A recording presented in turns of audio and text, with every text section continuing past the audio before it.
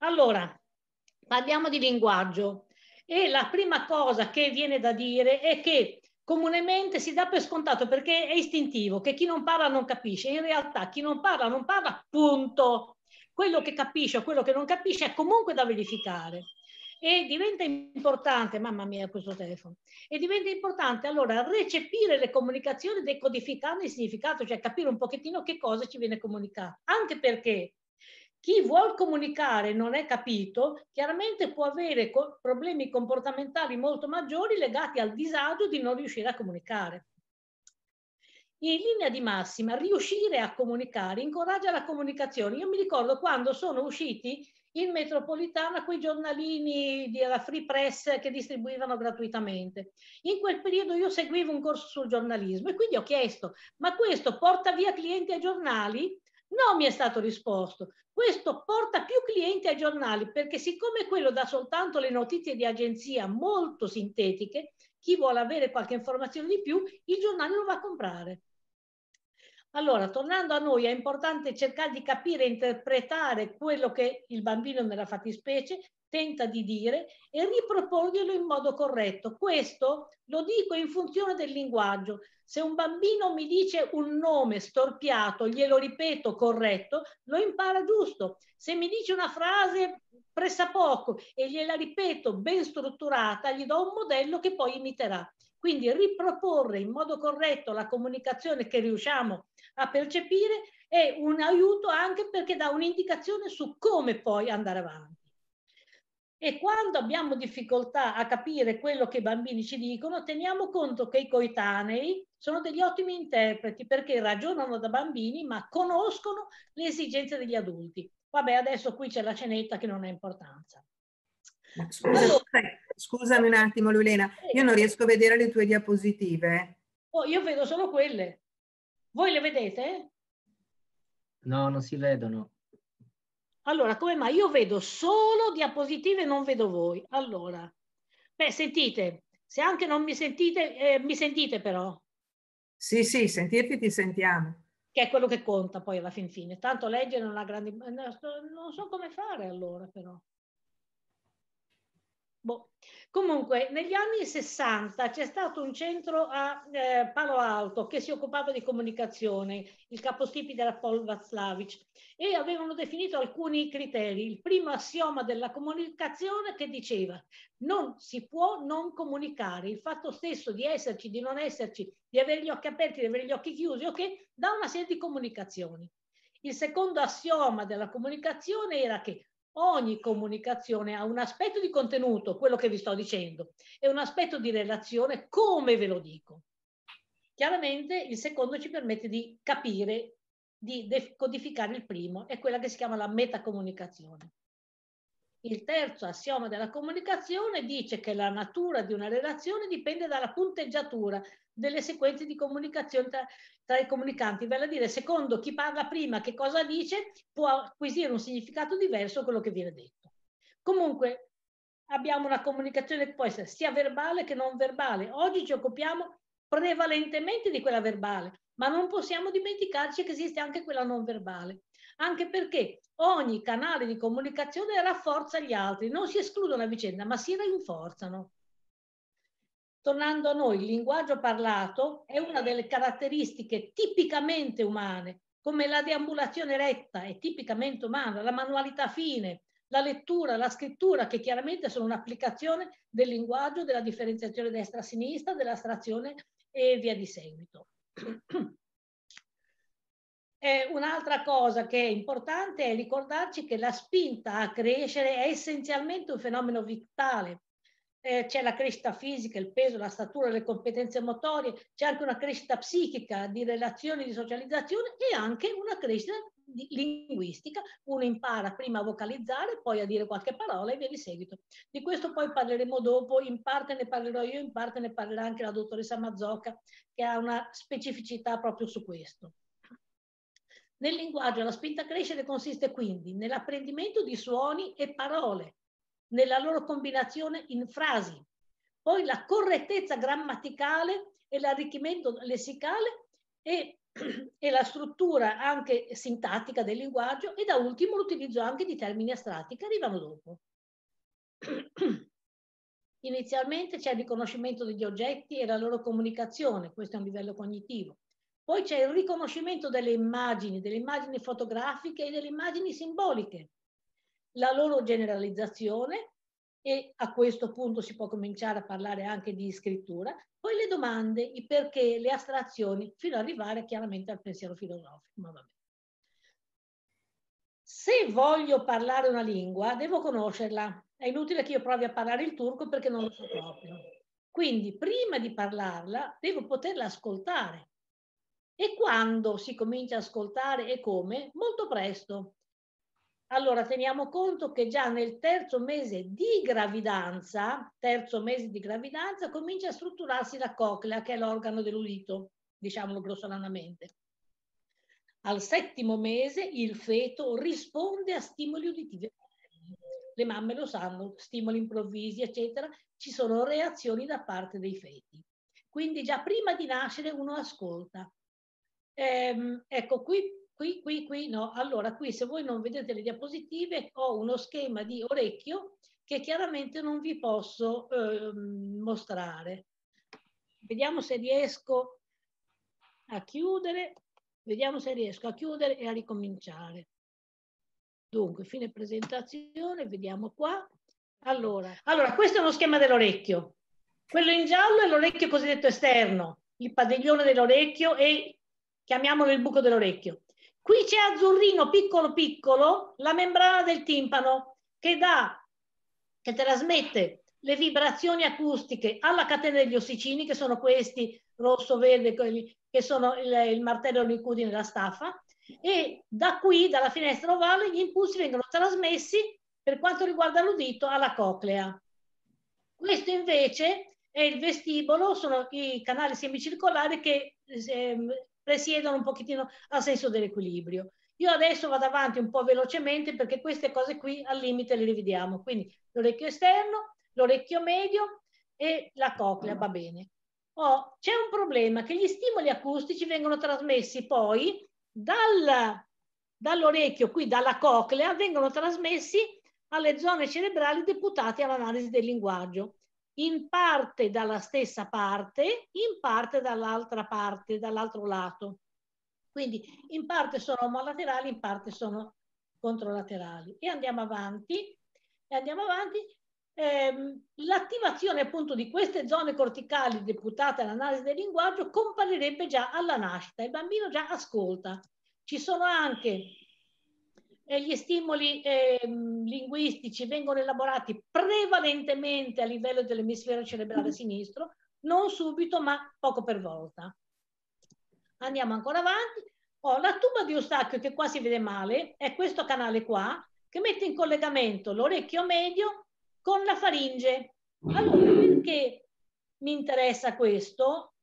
Perché nei bambini è nei bambini è più orizzontale e più sottile, il che vuol dire che quando c'è raffreddore, ristagno di muco nel naso, nella retrofaringe, se risale qui diventa difficile da eliminare dalla cosiddetta sordità trasmissiva. Ma di questo eventualmente potrà parlare molto meglio di me la dottoressa Mazzocca.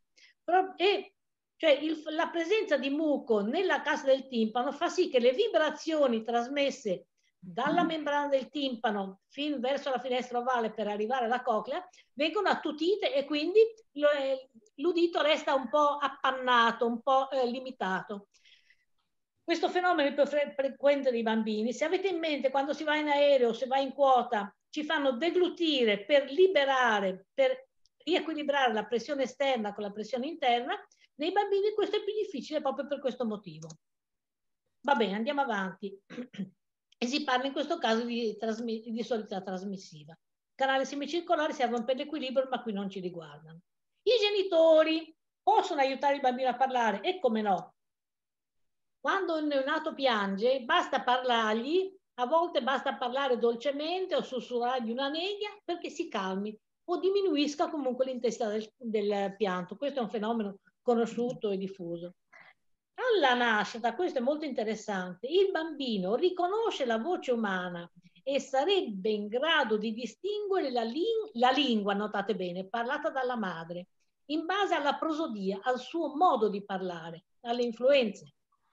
L'ascolto del neonato e del lattante sarebbe prevalentemente di tipo prosodico, vale a dire presta attenzione alla intonazione, alla, agli accenti, all'accentazione e alla durata relativa dei suoni. Quindi analizza queste cose. In base a questo il bambino distingue la lingua, riconosce la lingua parlata dalla madre, quella che ha sentito già prima di nascere. Questa è una ripetizione, i bambini molto piccoli sono particolarmente sensibili alla prosodia e va bene. Allora, prima di riconoscere le parole, i bambini devono poterle percepire in modo sufficientemente affidabile e in particolare i suoni elementari che compongono la parola. Ci sono osservazioni sul cosiddetto mammese. C'è quel modo di parlare, un po' scemotto se vogliamo, che si usa con i bambini piccoli. Adesso facciamo il bagnetto, adesso ti do la pappa. Allora cosa si fa? Si dà un'enfasi particolare alla parola centrale della frase che è preceduta e seguita da una pausa, per cui il bambino impara a focalizzare l'attenzione sulla parola centrale. Eh, vabbè, i bambini piccoli sappiamo che quando sono affascinati dal linguaggio vogliono mettere come se volessero afferrarlo e mettono le mani nella bocca dell'interlocutore, ma questo vabbè. Il bambino molto piccolo a un certo punto impara a interagire, risponde, se noi gli facciamo, ripetiamo suo, i suoi vocalizzi, il bambino risponde e si stabilisce una sorta di dialogo, un dialogo affettivo, un dialogo non verbale, ma un dialogo importante perché i lattanti sollecitati al dialogo a questo livello, nella lallazione, in seguito risulterebbero più attenti anche all'ascolto studiando, questo è uno studio bellissimo, uno studio francese, studiando i tempi di attenzione del bambino di pochi mesi, si è visto che tende a spezzettare l'ascolto del linguaggio parlato in frammenti sempre più piccoli. Oh, da notare che i francesi hanno un linguaggio che è più strascicato, più collegato. Il nostro linguaggio che è più scandito sicuramente si presta maggiormente a questo tipo di analisi, fino a identificare le forme più ricorrenti quali sono i suoni che ricorrono più frequentemente e il bambino impara a riconoscerli. Sembra che faccia un'analisi statistica molto elaborata a livello statistico, non me ne intendo di statistica, ma sembra che siamo stati tutti molto bravi prima di imparare a parlare. Tutto fa ritenere che l'unità del linguaggio umano sia costituita dalla sillaba. Allora, per noi italiani è istintivo, eh, forse io avrei qualche dubbio per gli inglesi, ma a quanto sembra anche gli inglesi usano una sillabazione forse meno scandita. Se voi intorno all'anno provate a recitare una semplice filastrocca, ma anche a parlare scandendo bene le sillabe, il bambino si mostra molto interessato perché sta facendo proprio quel lavoro di analisi dei suoni. Se glieli presento già separati, aiuto quel lavoro di identificazione che sta facendo. Prima di parlare, il, nel balbettio, il bambino tende a sperimentare tutte le risorse vocali di cui dispone, anche quelle che non userà più perché non rientrano nella lingua a cui è esposto. Tipicamente l'R nei cinesi che non, che non avendolo nel loro linguaggio corrente non la usano, non la affidano, anche se forse la R è un po' più difficile da, da elaborare, da sperimentare, non so. Di questo, ci, di questo eventualmente lo chiederemo alla dottoressa Mazzocca e andiamo avanti. La varietà, la ricchezza, la modulazione del barbettio dipendono dalle strutture e dalle funzionalità degli organi fonatori. Ci vogliono strutture per parlare, non basta sapere che cosa dire. E l'ho appena detto, che oltre a provare le risorse vocali di cui dispone, il bambino si ascolta e impara a modulare anche la sua voce, quindi ascolta le sue prove vocali. È chiaro che se manca il feedback, se c'è un problema uditivo, i vocalizzi sono meno incentivati e quindi questa modulazione, questo eh, esame pro delle proprie risorse vocali può, eh, può essere penalizzato. Eh, c'è una cosa che a me piace tanto ricordare, mica peraltro, è la gloria italiana. ci sono dei circuiti neuronali speciali che si attivano quando io guardo qualcuno che fa qualche cosa, quando penso di imitarlo, quando provo a imitarlo e si chiamano neuroni specchio. E sono, per cui indu, ci inducono istintivamente a imitare i comportamenti che osserviamo. Nei bambini questi sono attivissimi. I bambini osservano, guardano e ripetono. Sono degli ottimi osservatori e imitatori, il che vuol dire che usano moltissimo i neuroni specchio. Tornando al linguaggio, in un primo tempo le parole ehm, evocherebbero un'attivazione corticale bilaterale. Vi ho fatto vedere prima quello schema, forse adesso ricompare, non lo so, dove gli impulsi che vengono dall'orecchio destro vanno in parte all'emisfero cerebrale destro, in parte a quello sinistro e viceversa per, per l'emisfero sinistro. Però in, e finché il linguaggio è limitato, finché si tratti di un'analisi vocale, direi, di base, eh, l'attivazione sembra che resti bilaterale. Però a un certo punto, eccolo qua, eccolo qua, abbiamo questi circuiti, cioè gli impulsi, gli impulsi che a livello dell'orecchio sono stati trasformati in impulsi nervosi, vanno in parte a un emisfero, in parte all'altro. Qui sembra che la trasmissione sia simmetrica. In realtà la trasmissione poi si sposta. In un primo tempo il vocabolario di comprensione, vale a dire il bambino analizza e ascolta, progredisce abbastanza linearmente, mentre la produzione, quello che il bambino dice, è molto più lenta. Vediamo qua c'è una curva che ci dice la, come la comprensione va avanti in modo praticamente lineare, mentre la produzione è molto più lenta, però a un certo punto scatta. E quando è che scatta?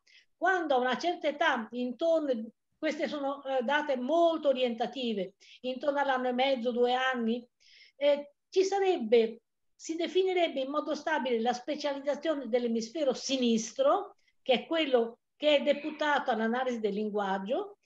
Al momento in cui si definisce questo, sembra che ci sia una sorta di esplosione del linguaggio, vale a dire si attiva lo, lo strumento, la zona che eh, si occupa proprio di questo lavoro e quindi comporta un'espansione del lessico.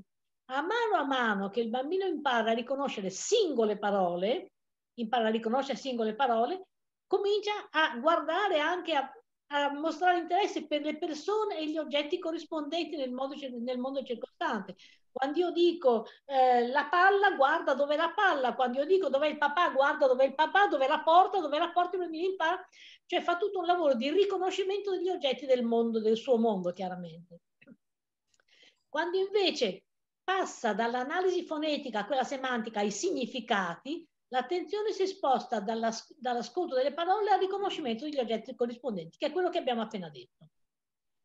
Poi il riconoscimento si sposta dagli oggetti reali, concreti, alle loro rappresentazioni, quindi alle foto, alle immagini, ai disegni.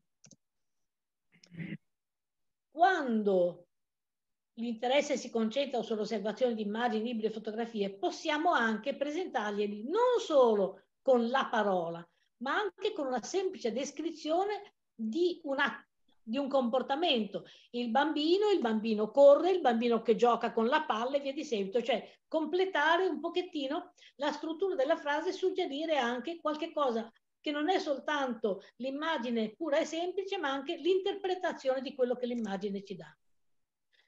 Da questa fase in poi è importante inserire le parole in frasi semplici, corrette, strutturate correttamente, non lunghi discorsi che non ci si perde dentro. Soggetto, verbo, complementi, soggetto, verbo, complementi. Perché? Uno che ha difficoltà di linguaggio tende a stringere, a semplificare, quindi bisogna che comunichi le cose essenziali, soggetto, verbo, complementi. Lo si fa anche a gesti e questo permette all'interlocutore di capire meglio quello che uno vuole dire. Noi abbiamo a che fare spesso con bambini che hanno difficoltà di linguaggio, difficoltà di articolazione, quindi è importante è importante impostare loro un linguaggio eh, sulle basi assolutamente corretto, eh, corretto e eh, comunicativo, ma nel senso più essenziale, che è la struttura della frase inglese, per esempio, soggetto, verbo, complemento, soggetto, verbo, complemento. Tante piccole frasi e non un discorso elaborato e complesso. Altrettanto importante è l'utilizzo di un linguaggio ricco di sinonimi, Se io uso più parole per indicare la stessa cosa, il bambino impara che ci sono più termini per, la, per dire la stessa cosa. E più parole il bambino ascolta, maggiori saranno le possibilità di modulare e variare il loro uso. Cioè uno impara che può dire una cosa in tanti modi e poi sceglierà magari quello che gli è più semplice. E quello che è più semplice per i bambini bilingue è l'inglese, chiusa la parentesi. Eh, ben presto però i bambini devono, devono, scoprire anche le ricorrenze, le regolarità, vale a dire le regole grammaticali e sintattiche e cominciano ad applicarle. Allora qui cosa succede? Che i bambini che hanno uno sviluppo del linguaggio normale senza problemi, a questo punto cominciano a creare dei neologismi, tipo siamo partenzati, perché siccome c'era la partenza, era la talora, siamo partenzati, oppure il guidante per indicare il volante, perché è quello che serve per guidare. A volte proprio questa fase, qui siamo intorno ai quattro anni spesso, però mh, mm, è molto elastica, ci può essere anche una balbuzia transitoria, vale a dire una balbuzia legata al fatto che il bambino sta cercando il termine corretto e c'è un conflitto tra l'uso corrente e quello che è invece quello che lui userebbe però sono cose che passano su cui non è il caso di, ehm, di preoccuparsi. E quando parliamo, eh, a mano a mano, beh vabbè, l'illustrazione che, che pensiamo quello che vogliamo dire, automaticamente mettiamo insieme una serie di funzioni. Oh, per parlare più o meno dobbiamo attivare in modo coordinato circa 600 muscoli perché c'è l'apparato respiratorio, se non ho fiato e non respiro non parlo, L'apparato fonatorio, vale a dire tutta la zona delle, delle, delle, corde vocali, tanto per intenderci. E poi tutto quello articolatorio, la lingua, la lingua, la lingua lunga, tanto per dirlo in termini concreti. Di queste cose eventualmente ci parlerà la dottoressa Mazzocca che è specialista, perché lei è medico, linguiatra e foniatra, quindi tutto sommato ha tutte le competenze. Io qui le ho rubato un pezzettino, ma poi se avrete domande o qualcosa del genere lo chiederete a lei. Allora, faccio una rapida eh, parentesi sulla respirazione.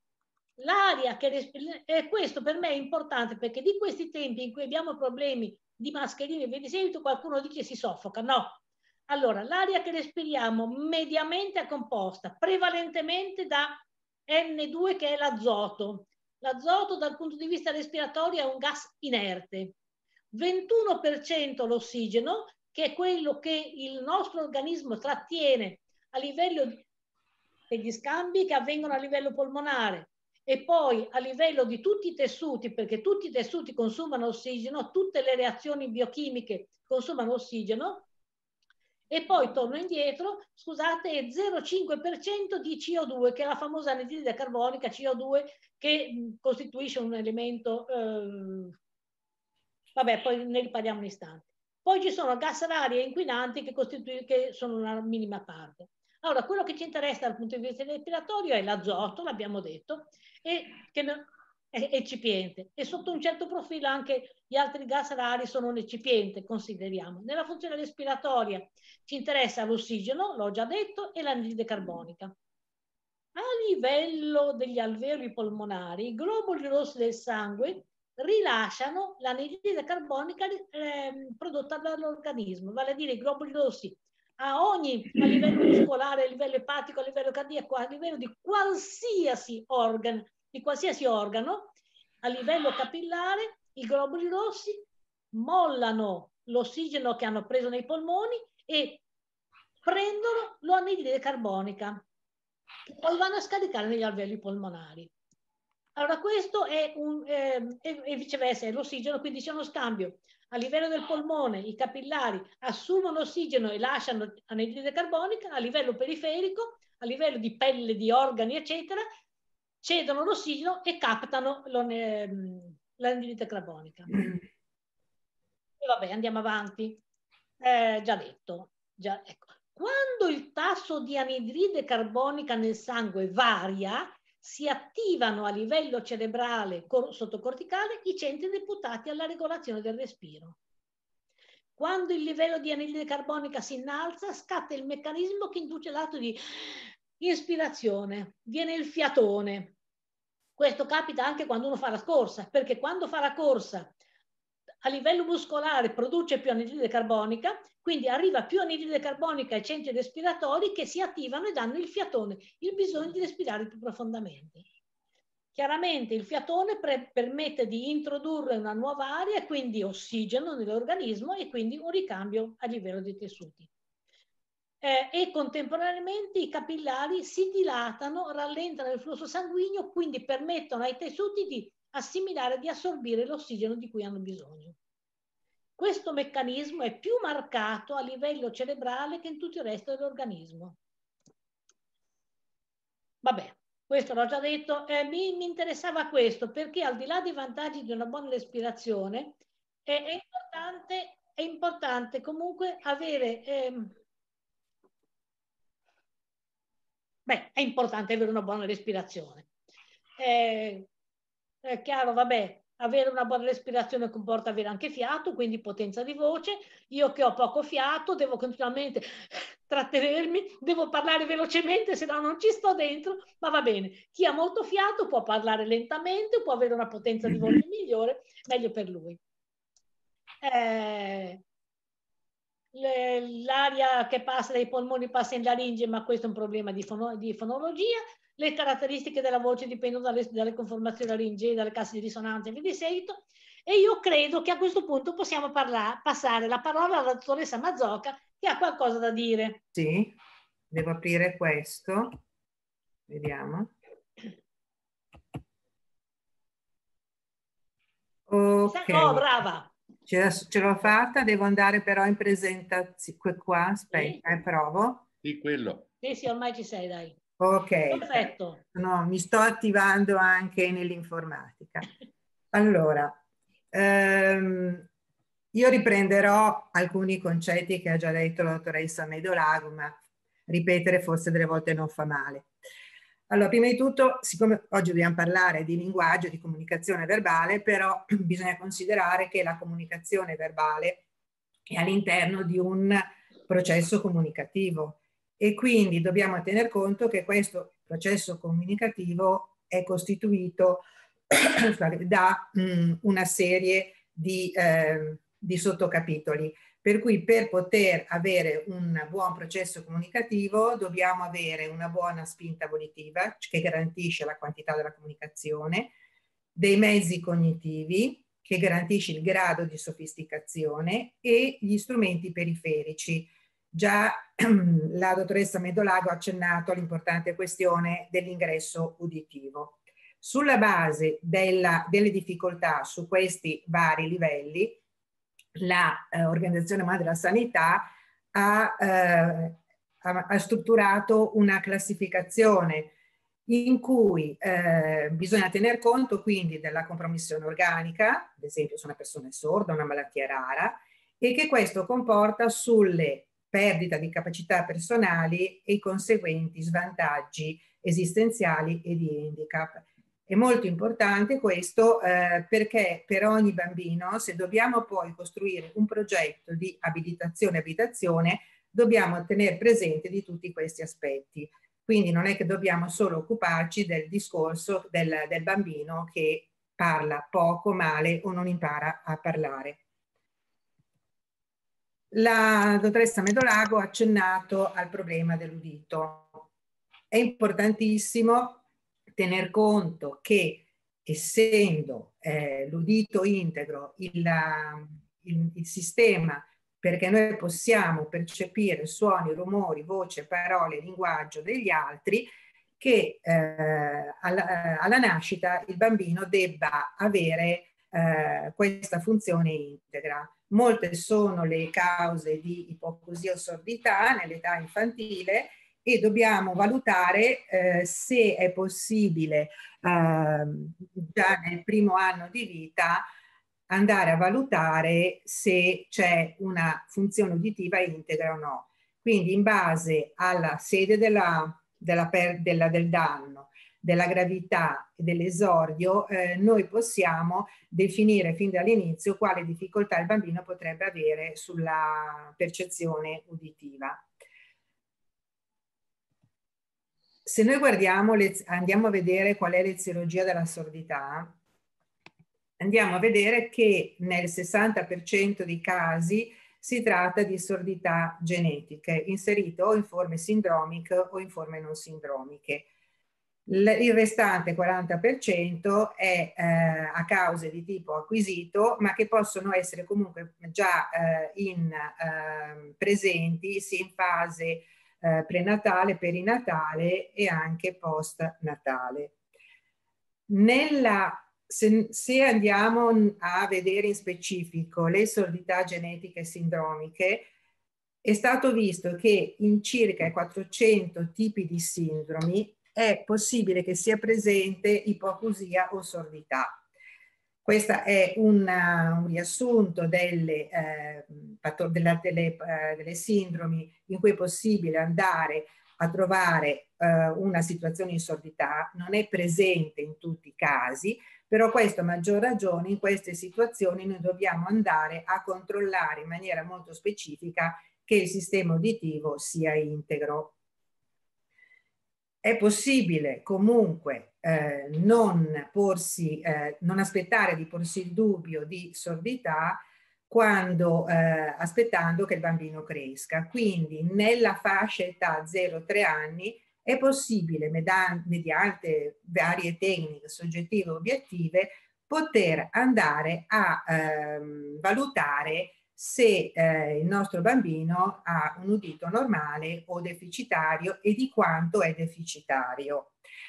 Eh, tra le indagini strumentali obiettive, quella che ormai è più usata alla nascita e che di solito è effettuata in tutti i punti neonatali è l'esame delle otto emissioni acustiche. È un test di screening che si esegue nel neonato, nella prima e seconda giornata e che ci può porre, non ci può magari dare un'entità sulla preditiva, ma ci può cominciare a porre il dubbio. Da questo poi è possibile proseguire con gli altri accertamenti. Quindi in genere quando un bambino viene dimesso da neonatologia, sulla cartellina di dimissione eh, viene riportato se il test delle otto emissioni è nella norma o invece è l'udito da ricontrollare. Questo è un piccolo schema che eh, praticamente ricalca eh, l'audiogramma, nella, vengono riportate le intensità e le frequenze. È importante che noi eh, sentiamo mediamente in udito normale la nostra ehm, capacità uditiva rispetto alle intensità e sui 20 decibel. Nella, eh, qui, eh, quando io parlo a, a un'intensità normale di conversazione, mi posiziono sui 50-60 decibel, quindi eh, se la mia capacità uditiva è posizionata sotto questa capacità, eh, allora il bambino non può percepire quelli che sono gli elementi della, uh, della voce umana. Con i disegnini, in effetti qui eh, ci, eh, ci, viene dimostrato con i disegnini quanto il bambino perde eh, di eh, comprensione quando eh, man mano che la capacità uditiva eh, diventa sempre più severa. Nella, ehm, prima dottoressa Medolago aveva accennato al problema delle eh, forme catarrali dell'orecchio medio. Nelle, nella fascia 0-6 anni il problema delle forme catarrali, dell'otiti catarrale o dei raffreddori, miti ricorrenti, nonché il problema dell'ipertrofia eh, donidea è molto frequente e quindi non bisogna dimenticarsene neanche eh, nei bambini che presentano altri tipi di patologie, perché delle volte si è talmente concentrati sull'andare a porre la nostra attenzione sulla malattia rara, sul ritardo cognitivo, ma vengono un po' accantonate queste questioni. Per cui anche un bambino con una malattia rara deve essere valutato rispetto anche a questo problema delle prime vie respiratorie, quindi forme catarrali che possono quindi ridurre la eh, capacità uditiva devono essere subito eh, definite, diagnosticate e curate. Quando io ho un'otite catarrale o quando ho un, un problema di nasofaringeo, di ostruzione eh, nasofaringea,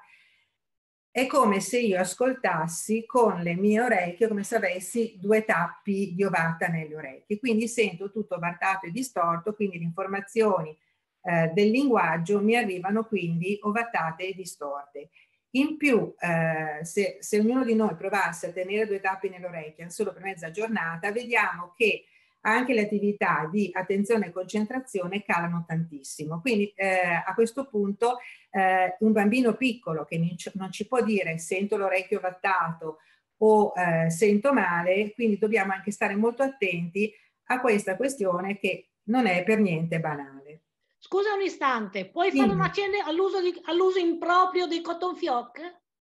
L'uso improprio dei eh. cotton fioc, sì, allora meno si toccano le orecchie meglio è, perché molte volte col cotton fioc rischiamo di spingere il cerume nel condotto uditivo e anche in vicinanza del timpano.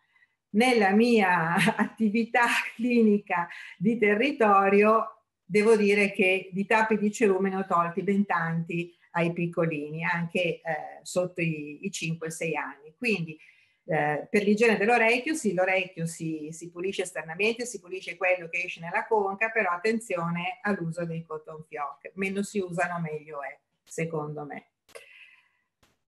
Un conto invece è la presenza di catarro che viene a formarsi al di là del timpano, non nel condotto uditivo. E allora lì il problema è curare naso faringe e può capitare che anche un bambino con una malattia rara come la sindrome del Cri-Duchat debba magari sottoporsi a un intervento di adenodectomia per, per ripristinare la respirazione nasale e quindi eh, far drenare la tuba di Eustachio. Quindi non dobbiamo dimenticarci di queste patologie che sono presenti in tutti i bambini, indipendentemente dalla, dalla malattia di base che uno possa avere. Importante quindi, rispetto all'udito, fare una diagnosi precoce, perché questo ci permette di eh, immergere il bambino in un mondo sonoro utilizzando le protesi acustiche, perché se la perdita uditiva oltre una certa entità dobbiamo provvedere anche a una protesizzazione. Questo sfrutta quindi, il bambino viene quindi anche attraverso la protesi acustica, se è una situazione grave con l'impianto cocleare, viene immerso in un mondo sonoro e quindi sfruttiamo la sua plasticità cerebrale già nei primi mesi di vita e possiamo dare la possibilità che il bambino possa quindi creare un codice informativo e attivare quel feedback verbo-acustico di cui prima ha accennato dottoressa Medolago per attivare gli organi fonoarticolatori e quindi eh, avviarlo verso l'apprendimento della comunicazione verbale. Quindi chiudiamo un attimo il capitolo udito che eh, comunque eh, è diciamo essenziale e importante nel processo di sviluppo del linguaggio, eh, come già ha detto, cioè, probabilmente ripeto delle cose che ha già detto, cercherò di saltare quando mi rendo conto che... No, vai tranquilla, vai tranquilla, ripetita Juvent. Ecco, allora quindi il linguaggio verbale sappiamo che è un fenomeno che è specificatamente umano, si sviluppa eh, rapidamente dentro, entro tre anni di vita e ai tre anni il bambino con variabilità interindividuali possiede già quindi, come già detto prima, le strutture fondamentali della lingua materna. Avviene in modo spontaneo, seppur con differenze interindividuali, anche nella normalità, e seguendo le stesse tappe in culture e lingue completamente diverse ed in parte viene comunque influenzato dalla, dall'ambiente eh, che ci circonda, dalla famiglia. Le basi neurologiche e la serie di potenzialità e di modi di analisi degli elementi linguistici hanno bisogno comunque degli stimoli ambientali per avviare il bambino a capire gli altri quando parlano e a parlare.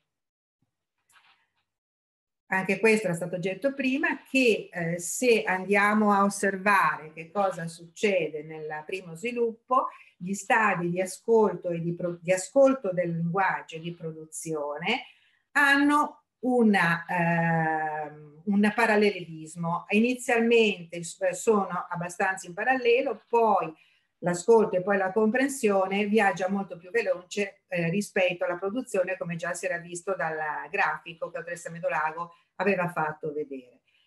Quindi man mano che il bambino cresce, migliora eh, quello che è l'ascolto di quello che sente rispetto a quello che lui emette fino ad arrivare alla lallazione. Esistono, questo sempre eh, per completare il, la questione udito, esistono delle abilità di ascolto c'è una gerarchia. molto importante eh, che eh, in genere il personale riabilitativo, in specifico logopediste, vanno a valutare perché essendoci una gerarchia vuol dire che un bambino non può passare a un livello successivo se prima non ha appreso il precedente. Quindi se un bambino, ad esempio, eh, non ha ancora raggiunto l'abilità di detezione, cioè di rispondere alla presenza o all'assenza del suono, e quindi il bambino impara a rispondere al suono, a prestare attenzione e non rispondere quando il suono non è presente, se il bambino non ha questa prima abilità di base, non riesce poi a costruire le successive tappe sull'abilità dell'ascolto. Quindi questo vuol dire che sia il terapista sia che i genitori devono stare attenti a osservare eh, questo tipo di abilità di base che il bambino man mano acquisisce. Per cui se io non ho ancora raggiunto una certa abilità di ascolto, è inutile che voglia, ad esempio, eh, insistere col bambino perché riesca a fare delle, eh, delle abilità che, di cui ancora non ha le basi. Quindi dobbiamo man mano anche sull'ascolto costruire le basi. Successivamente alla detezione c'è la discriminazione, cioè l'abilità di percepire somiglianze e differenze fra due più stimoli del parlato e il bambino quindi impara a notare le differenze tra i suoni e a rispondere in modo diverso a suoni differenti. Quindi è molto importante che, eh, eh, di, di porre attenzione, osservare eh, man mano che, eh, dove il bambino man mano eh, diventa sempre più abile. Sulla base di quello poi si può costruire un processo di tipo abiliti, abilita, abilitativo o educativo.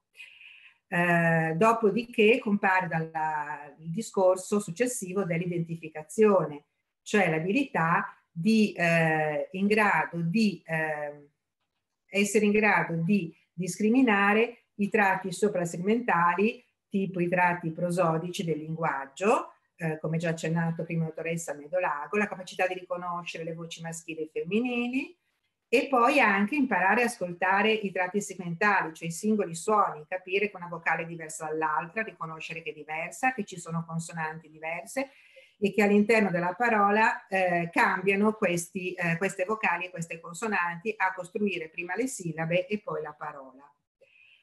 Segue poi quindi la comprensione, cioè la capacità, l'abilità di capire il significato della produzione rispondendo alle domande, seguendo un ordine eh, e quindi eh, le, eh, questo permette di passare poi a mettere in atto il eh, collegare le abilità uditive a quelle cognitive. Quindi qui arriviamo al bambino già più grande, quindi all'ingresso della scuola elementare se noi andiamo a guardare mh, il, quello che è lo sviluppo della comprensione, sempre riferito al bambino che ci sente bene naturalmente, ehm, esistono queste tappe che sono abbastanza simili nei bambini e eh, per cui a varie fasce di età noi andiamo a, ehm, a guardare dove il bambino sta diventando abile. Quindi se a tre mesi, 3-0 tre mesi, registra i suoni intensi, a, tra i tre e i sei mesi comincia a localizzare la fonte sonora girando il capo, comprende alcune intonazioni della voce, a 6-9 mesi riconosce e risponde al proprio nome, riconosce parole familiari, comprende le proiezioni, si diverte con i giochi sonori. A 9-13 mesi comincia a reagire a stimoli sonori familiari, mostra interesse agli oggetti quando vengono nominati e inizia a comprendere ordini semplici. Ora, questo è una media dalla, dalla ricerca, da quello che si è visto su ampie fasce di, eh, di bambini.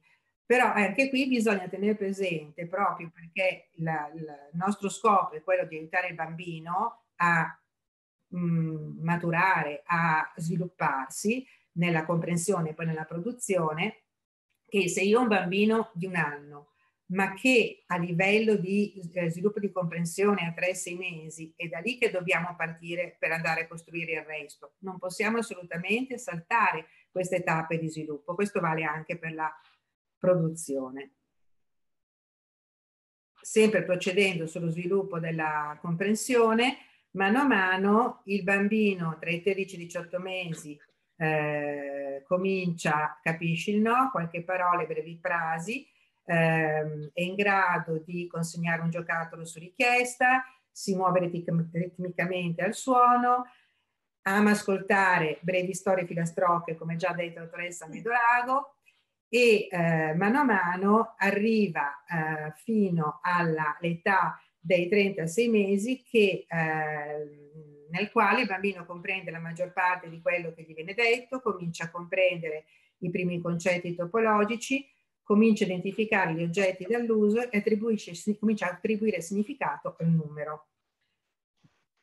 A livello invece di produzione vi è una prima fase che è cosiddetta del periodo prelinguistico, tra i 0 e i 9 mesi. Quindi partiamo dal pianto, eh, da suoni gutturali e quindi il bambino comincia ad attivarsi nell'uso degli organi fonoarticolatori. Secondo terzo mese cominciano a emergere delle vocalizzazioni che rappresentano il primo sviluppo del feedback verbo acustico e tra i 6 e i 9 mesi eh, inizia la lallazione, che è proprio l'inizio della comunicazione intenzionale. La lallazione è presente anche nel bambino sordo, per cui attenzione che il bambino che ha l'allazione eh, non è un, un, segnale al 100% significativo che il bambino ci senta. Il periodo linguistico inizia dai nove mesi. A nove mesi il bambino eh, comincia con le prime parole, con i primi fonemi consonantici, è una comunicazione di tipo intenzionale, dai 13 ai 18 mesi c'è l'aumento di vocabolario, la comparsa della cosiddetta frase monotermine, cioè una parola che rappresenta una frase, compaiono altri gruppi consonantici, tra i 18 e i 24 mesi c'è un ulteriore aumento del vocabolario, la comparsa della frase bitermine, quindi eh, anche senza la presenza di una forma verbale, compaiono altri fonemi consonantici, e quindi comincia a essere una comunicazione verbale con una funzione simbolica. Dal 24 al 33 mese compare la frase politermine, soggetto, verbo, oggetto e altri eh, fonemi consonantici. Quindi qui siamo nella fase proprio della della comunicazione verbale con funzione relazionale. Dal trentesimo mese prende avvio anche quella che è la strutturazione morfosintattica, e, e man mano il completamento dei eh, fonemi consonantici che eh, ancora non erano stati appresi. Anche per quello che riguarda l'apprendimento del, dei, singole, eh, dei singoli fonemi, anche qui c'è una sequenza di maturazione. Per cui se un bambino non è ancora in grado di articolare, ad esempio una P e una B, è inutile che vogliamo a un certo punto eh, fargli pronunciare la S. Dobbiamo perché ha una maggiore difficoltà da un punto di vista dell'organizzazione a livello articolatorio. Quindi anche qui eh, il, ehm, l'esperto, il, chi si occupa di linguaggio, il logopedista, fa un bilancio della situazione fonemica per aiutare il bambino poi a costruire quello che manca. Quindi questo vale anche a livello dei genitori, quindi se un bambino dice ma una, un, un fonema, una letterina, non incaponiamoci, voglio fare dire meglio perché ancora magari non è il momento opportuno per farlo. Altro elemento molto importante nello sviluppo della comunicazione, eh, del linguaggio, è la cosiddetta comunicazione gestuale. Quando noi, eh, verso i 9-13 mesi, eh, il bambino non ha una competenza eh, verbale, però lui riesce a farci capire comunque tante cose di quello che ci vuol dire attraverso ad esempio i gesti cosiddetti deitici che vengono utilizzati come un'intenzione comunicativa che sono convenzionali e si, e si, riferiscono a qualche oggetto o evento esterno. Tipico è l'indicare eh, questo, questo, vuol dire, molto importante osservare se il bambino utilizza questi gesti, anche se ancora, che magari un bambino che può avere 20 mesi perché è in ritardo di linguaggio, ma è molto importante perché è un segno di comunicazione e, e quindi dobbiamo sostenerlo e essere pronti a capire quello che il bambino ci vuole comunicare attraverso eh, questi gesti. L'indicare, cioè puntare l'indice verso un oggetto e guardare in maniera alternativa l'adulto, è un, indice, è un indice fondamentale di sviluppo comunicativo e linguistico successivo. Quello che il bambino ci indica, cos'è? È l'oggetto della comunicazione. Ad esempio, indica il, il piatto della pappa perché vuole mangiare, ha intenzione di richiedere alla mamma o al papà la pappa, quindi indica. Quindi è importante sostenere attraverso una comunicazione da parte nostra anche verbale ah ecco, vuoi la pappa, nel senso che quindi di verbalizzare quello che il bambino attraverso l'indicazione ci, eh, ci, evidenzia. Quindi quest, diciamo, questi, eh, questa comunicazione gestuale non va mai sottovalutata e va stimolata. Dal dodicesimo mese compaiono anche i cosiddetti gesti referenziali o simbolici, quindi il referente della comunicazione, mentre con l'indicare io indico un oggetto, in questo caso il gesto stesso è eh, equipotenziale della parola, ad esempio ciao, eh, mangiare, non c'è più, eh, telefonare e quindi questo è un successivo avanzamento eh, rispetto alla, all'avvio della comunicazione poi verbale. Questi gesti referenziali possono essere usati assieme ai precedenti eh, deitici e quindi è come se noi cominciassimo a costruire una piccola frase. Quando il bambino ha gravi difficoltà per la patologia di cui è affetto ad, a, a iniziare la comunicazione verbale, questa comunicazione gestuale va comunque sostenuta perché può essere che su questa, se poi si tratta di una situazione molto grave per cui il bambino non avrà mai l'avvio alla comunicazione verbale, perché purtroppo dobbiamo tener conto che ci possono essere anche queste situazioni estreme, ma ci sono, eh, questo permette quindi di costruire un piccolo nucleo su cui pensare poi di utilizzare altre tipologie di comunicazione a verbale.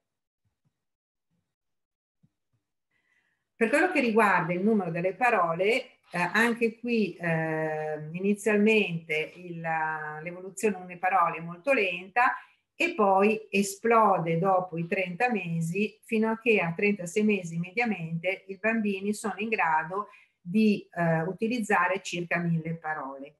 La combinatoria di due parole, quindi eh, il eh, metto insieme due parole a costruire la frase di termine, comincia a comparire quando il bambino ha in uso un vocabolario di circa 70-100 parole. Altra cosa molto importante, proprio perché prima aveva accennato il Medolago, che la comprensione eh, viaggia molto più velocemente all'inizio, che mentre noi a 18 mesi usiamo massimo un vocabolario di 20 parole, il bambino ne capisce anche fino a 300. Quindi questo vuol dire che comunque noi dobbiamo sempre avere una, eh, anche nel bambino che ha un ritardo di linguaggio o che ancora è nella fase in cui non comunica verbalmente, dobbiamo sempre comunque eh, inizialmente quindi la, la famiglia, comunque parlare al bambino comunque in maniera tranquilla, con anche frasi complete e anche non limitandoci all'uso di quei 3-4 parole che noi presumiamo che il bambino sappia dire. Quindi se il bambino usa 20 parole, non è che noi nella nostra comunicazione utilizziamo solo quelle che il bambino sa dire, dobbiamo espandere la sua conoscenza rispetto a altre parole. Allora, valutazione della comunicazione verbale. Cioè, quando noi, eh, quando noi parliamo, eh, abbiamo, eh, dobbiamo andare a vedere se abbiamo gli strumenti per parlare e, che, e, se li sappiamo usare e dove li sappiamo usare meno bene, dove, come poterlo aiutare. Quindi quando si fa la valutazione di un bambino non ci si limita solo a vedere eh, di quanti ho ritardo linguaggio, quante parole dice, ma dobbiamo anche andare a valutare eh, tutti i vari aspetti che sono e gli, e gli organi che sono sottesi alla comunicazione.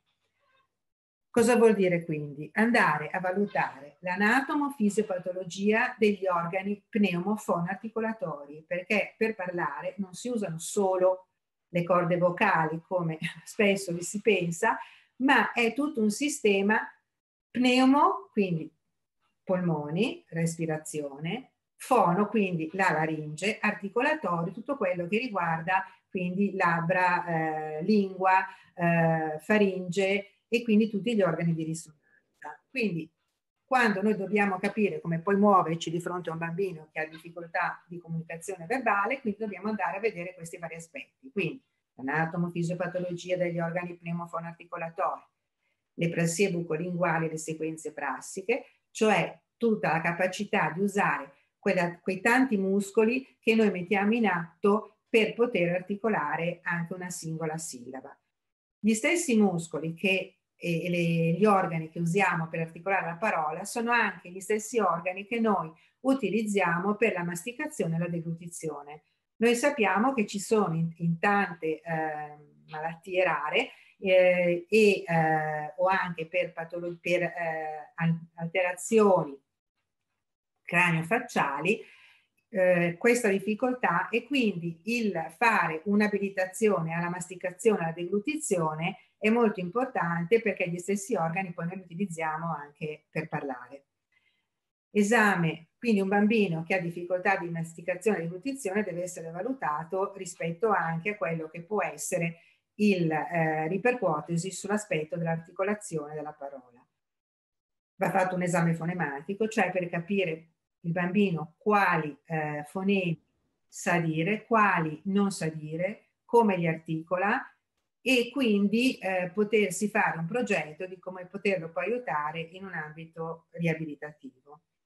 Poi ci sono anche molto importanti gli aspetti melodico-prosodici del linguaggio, perché noi non parliamo in maniera piatta, ma eh, attraverso l'aspetto melodico-prosodico noi diamo delle eh, importanti informazioni quindi ad esempio io la stessa frase la posso dire eh, in maniera esclamativa, in maniera interrogativa, in maniera affermativa e quindi anche bisogna vedere quanto il bambino sia in grado di eh, avere queste competenze. Ci sono tanti bambini che non hanno ancora l'uso della parola che noi possiamo capire, ma emettono la voce avendo un'intonazione melodico-prosodica, per cui noi capiamo che il bambino ci sta facendo una domanda, anche se non capiamo il, nella, la parola specifica che sta dicendo. Quindi questo diciamo è un, pro, un, un aspetto molto importante rispetto poi alla costruzione del linguaggio. Poi naturalmente si va a valutare qual è il suo livello di competenza frastica e lessicale.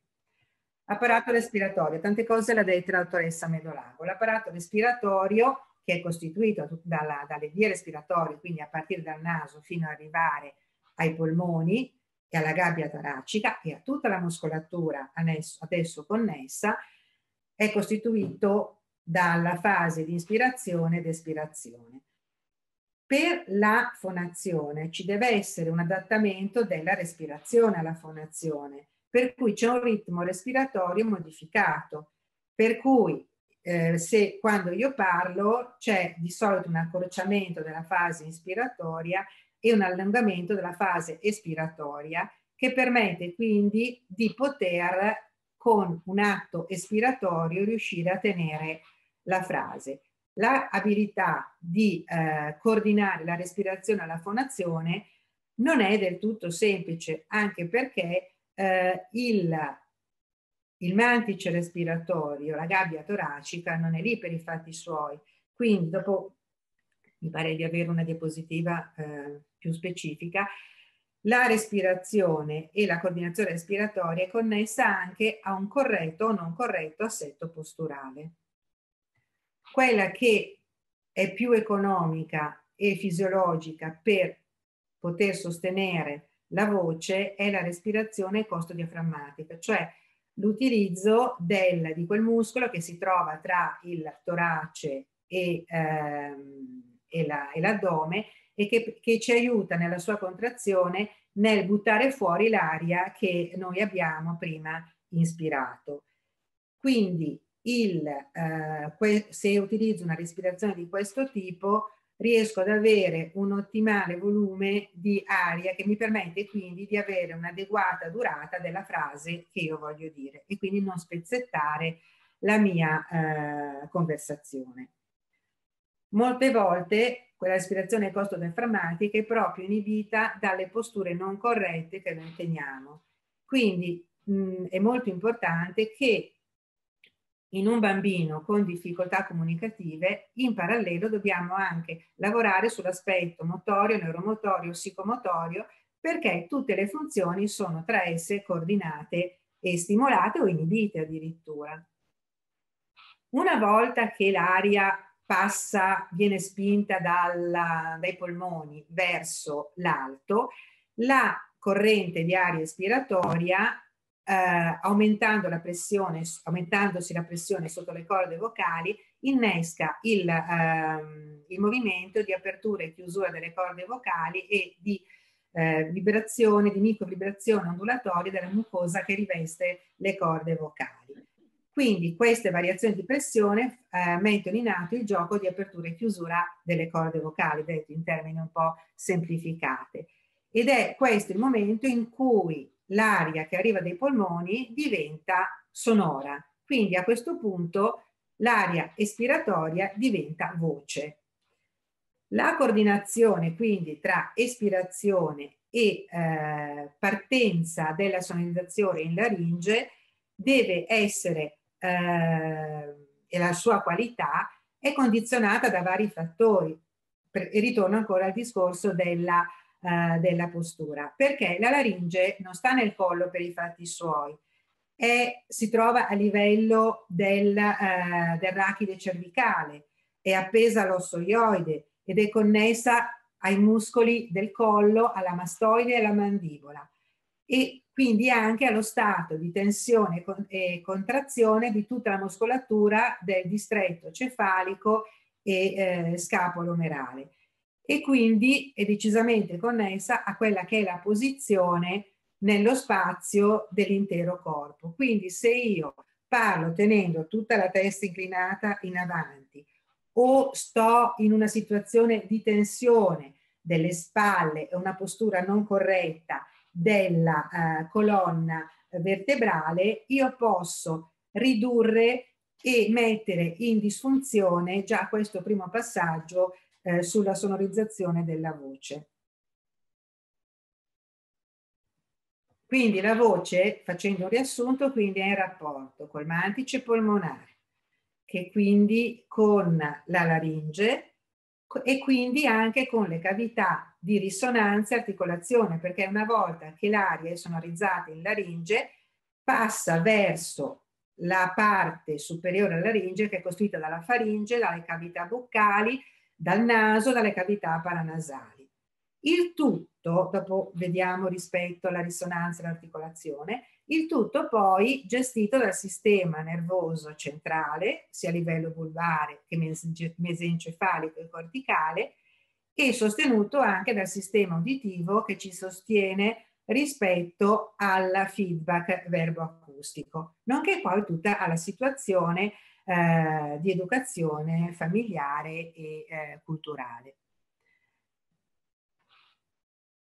Questo l'avevo già detto prima, magari posso anche saltarlo, però quindi la correlazione anatomo-funzionale tra setto posturale e atto fonatorio è da seriamente valutare proprio per tutte queste connessioni che vi ho detto prima e teniamo conto che eh, il, eh, le sinergie di attivazione muscoloscheletriche eh, sono organizzate da un continuo attività di controllo e rilievo da parte di informazioni proprio cettive e sterocettive che ci arrivano dai vari settori eh, recettoriali.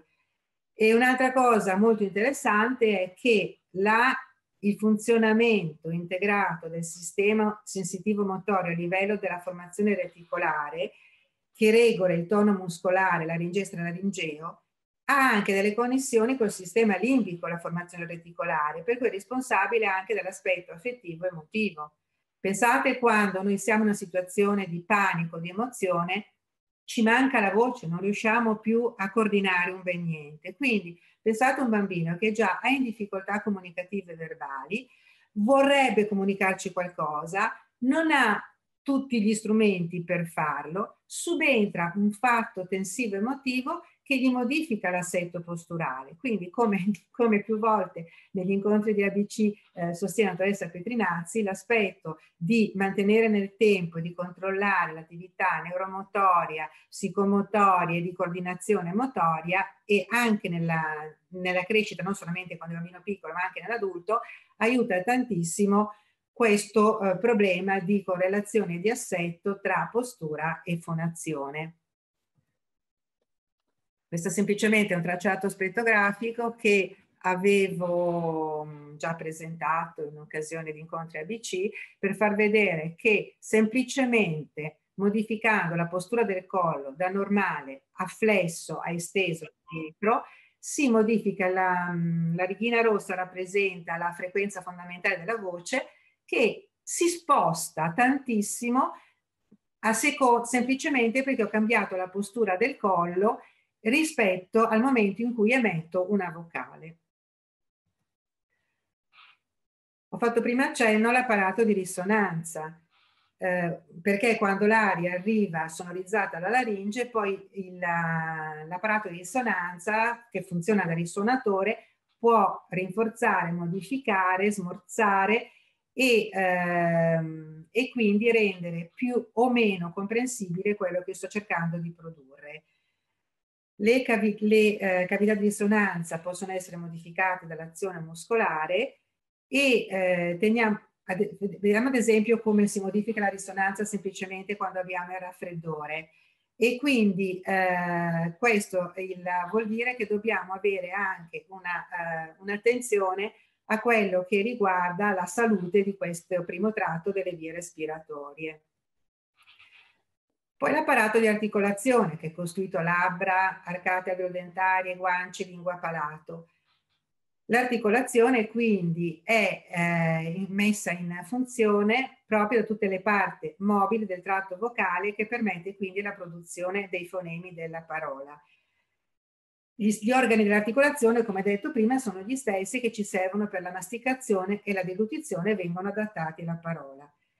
È importante un'osservazione di questa parte mh, del nostro corpo abilitata all'articolazione perché in mh, diverse patologie, nelle, eh, in molte malattie rare, vi è una ehm, dismorfia facciale e che quindi certamente eh, porta qualche difficoltà a mettere in atto una corretta articolazione.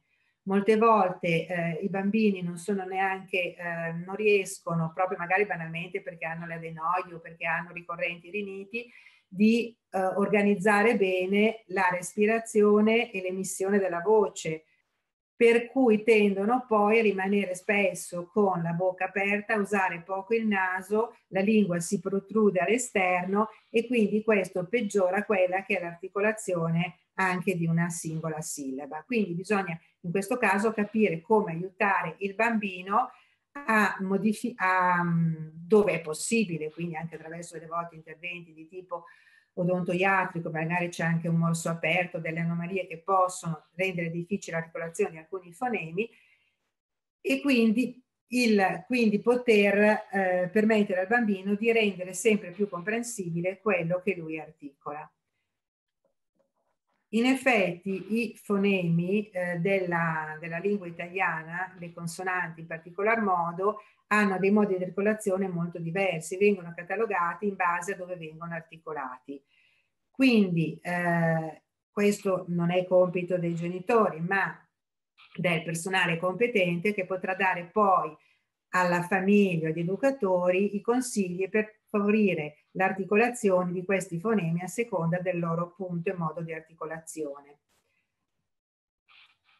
Come già detto prima, questa è una tabella di riassunto, i fonemi eh, una, compaiono secondo una sequenza di maturazione per cui dobbiamo andare a vedere se tra l'età del bambino e i fonemi che sa dire esiste una correlazione o se un bambino mostra un ritardo.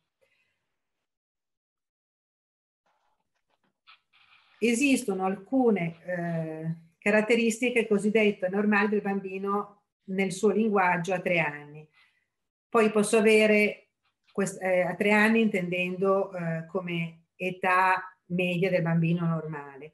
Allora, questo vale anche a bambini che hanno difficoltà, per cui quando iniziano a parlare può capitare che ci siano dei, eh, delle caratteristiche che noi, considerato rispetto a un linguaggio adulto, le consideriamo degli errori, ma che invece possono essere, tra virgolette, normali nel bambino. Prima aveva accennato dottoressa Medolago alle turbe del flusso verbale, c'è un momento in cui il bambino è apparentemente balbuziente. Eh, anche in questo caso non bisogna accentuare il, al bambino questa difficoltà e, perché poi in genere scompare spontaneamente, come anche avere la tendenza al momento in cui si comincia a strutturare il linguaggio, usare delle forme, eh, tendenza a far rientrare le forme irregolari dei verbi in regole generali, per cui ad esempio dico aprito per aperto, oppure se ehm, tendo a saltare delle sillabe che sono poco non accentate, quindi poco percepibili acusticamente, a invertire o a sostituire dei fonemi, per esempio posso dire cimena invece di cinema, oppure posso saltare dei dittonghi, eh, posso sostituire un suono con un altro, posso in una parola a più sillabe, plurisillabica, eh, praticamente semplificare la parola, per cui invece di dire eh, cioccolata dico tottolata. E quindi questi sono errori eh, che non vanno corretti direttamente, ma fanno parte del, dell'allenamento che il bambino fa nell'apprendimento del linguaggio, cosa prima, di cui abbiamo accennato dottoressa Medolago.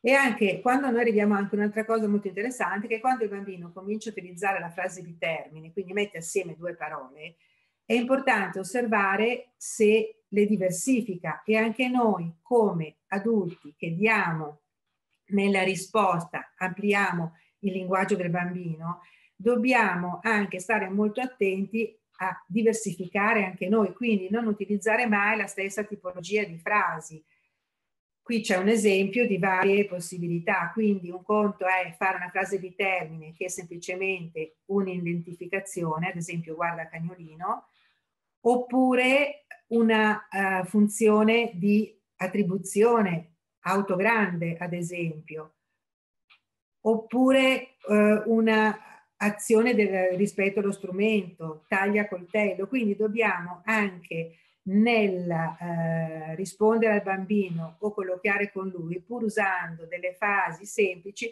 anche di essere molto variabili in, que in, quello che stiamo dicendo e non appoggiarsi magari sul fatto che il bambino inizialmente usa solamente una tipologia di queste frasi di termine, quindi bisogna espanderci. Ecco, solo dire due cose rispetto alla sindrome del cri in rapporto a quello che ho detto fino adesso. Negli anni scorsi abbiamo in, fatto una ricerca eh, sul, partendo dal fatto che eh, proprio la, la, sindrome del cri eh, ha preso questo nome dalla tipo particolare di eh, voce del pianto eh, che il bambino ha alla nascita e eh, viste le difficoltà che molti di questi bambini alla crescita hanno sulla comunicazione verbale, Stiamo mm, partendo dall'ipotesi antica che le difficoltà erano, potevano essere prevalentemente legate a delle anomalie laringee, cosa che invece poi facendo una ricerca eh, più specifica e anche in base a indagini strumentali, ad esempio delle eh, fibroendoscopie laringee che hanno quindi permesso di valutare che non c'è niente a livello di, degli organi fonatori, però in, eh, abbiamo notato che le difficoltà che rendono poi, soprattutto nei bambini, che comunque riescono ad arrivare ad avere una eh, competenza comunicativa sufficiente, eh, abbiamo osservato che in una buona parte di questi eh, ragazzini, soprattutto in quelli di una, di una certa età, perché ricordiamoci che essendo una malattia rara, no, fin, risalendo a non molti anni fa, eh, da questa ricerca effettuata abbiamo rilevato che più del 46% dei, eh, solo il 46% dei soggetti eh, in realtà ha fatto un percorso logopedico di aiuto perché eh, non si poneva attenzione invece al fatto che anche questi bambini potevano quindi avvalersi di arrivare a avere una comunicazione verbale che potesse aiutare nella relazione con gli altri. Quello che abbiamo visto è che, questo, che eh, nella, eh, viene la, quello che è la, mm, loro atteggiamento fonatorio è che una buona parte hanno la postura scorretta, hanno una rigidità della muscolatura toraco-addominale, hanno un attacco vocale molto rigido, hanno un'incoordinazione pneumofonica, spesso una respirazione orale non corretta e alternata a quella nasale e il mantenimento anche in età adulta in un 34% della, della fase orale della deglutizione. Tutto questo condiziona la coordinazione di tutto il sistema pneumofono articolatorio e quindi di conseguenza rende meno intellegibile il linguaggio anche degli bambini e degli adulti che hanno comunque una sufficiente comunicazione verbale. Quindi questi atteggiamenti scorretti e questa incoordinazione vuol dire che deve essere osservata, valutata e eh, cercare di eh, ricoordinare il tutto nell'età evolutiva perché poi il bambino diventato adulto non mantenga alcuni assetti scorretti. Quindi bisogna eh, iniziare a porre attenzione in età pediatrica e non aspettare e a vedere che cosa succede nel tempo.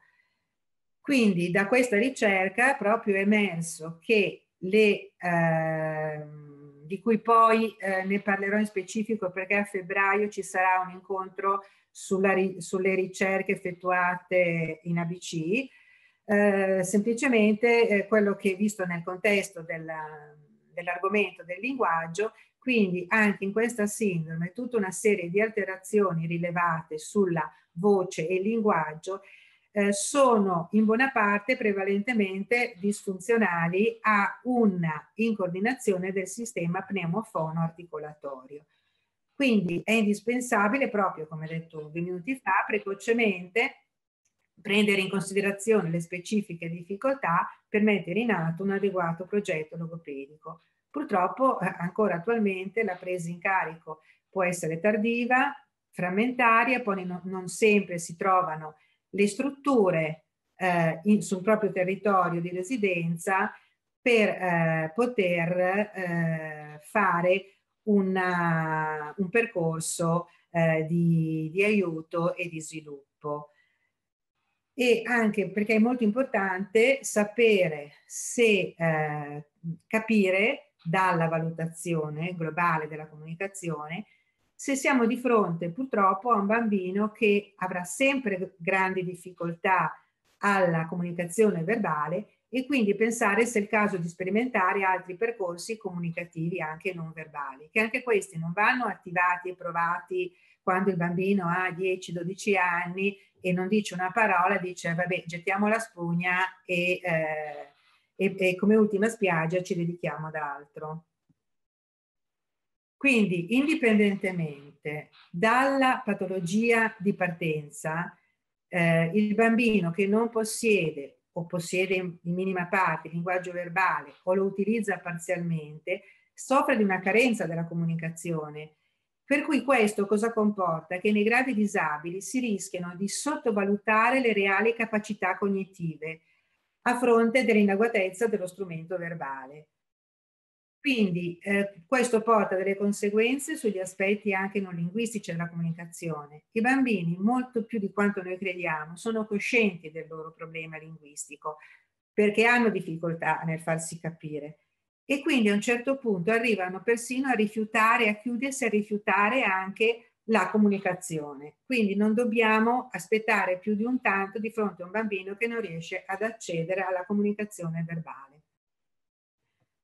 Teniamo presente poi che anche se c'è una, una bella ricerca di Merabian ehm, statunitense tantissimi anni fa che ha fatto una valutazione sull'efficacia e qualità della comunicazione tra gli udenti, per, tra gli udenti normodotati e quindi eh, valutiamo che cosa? Che la comunicazione verbale sull'efficacia e la qualità della comunicazione ha un peso tutto sommato molto basso rispetto alla comunicazione paraverbale, quindi modulazione si intende per paraverbale la modulazione della voce, la variazione di tono, di ritmo, pause e silenzi, e la comunicazione non verbale, la postura, la gestualità, da non confondere con i segni di cui poi dico due cose, mani e capo, l'espressione del volto e lo sguardo.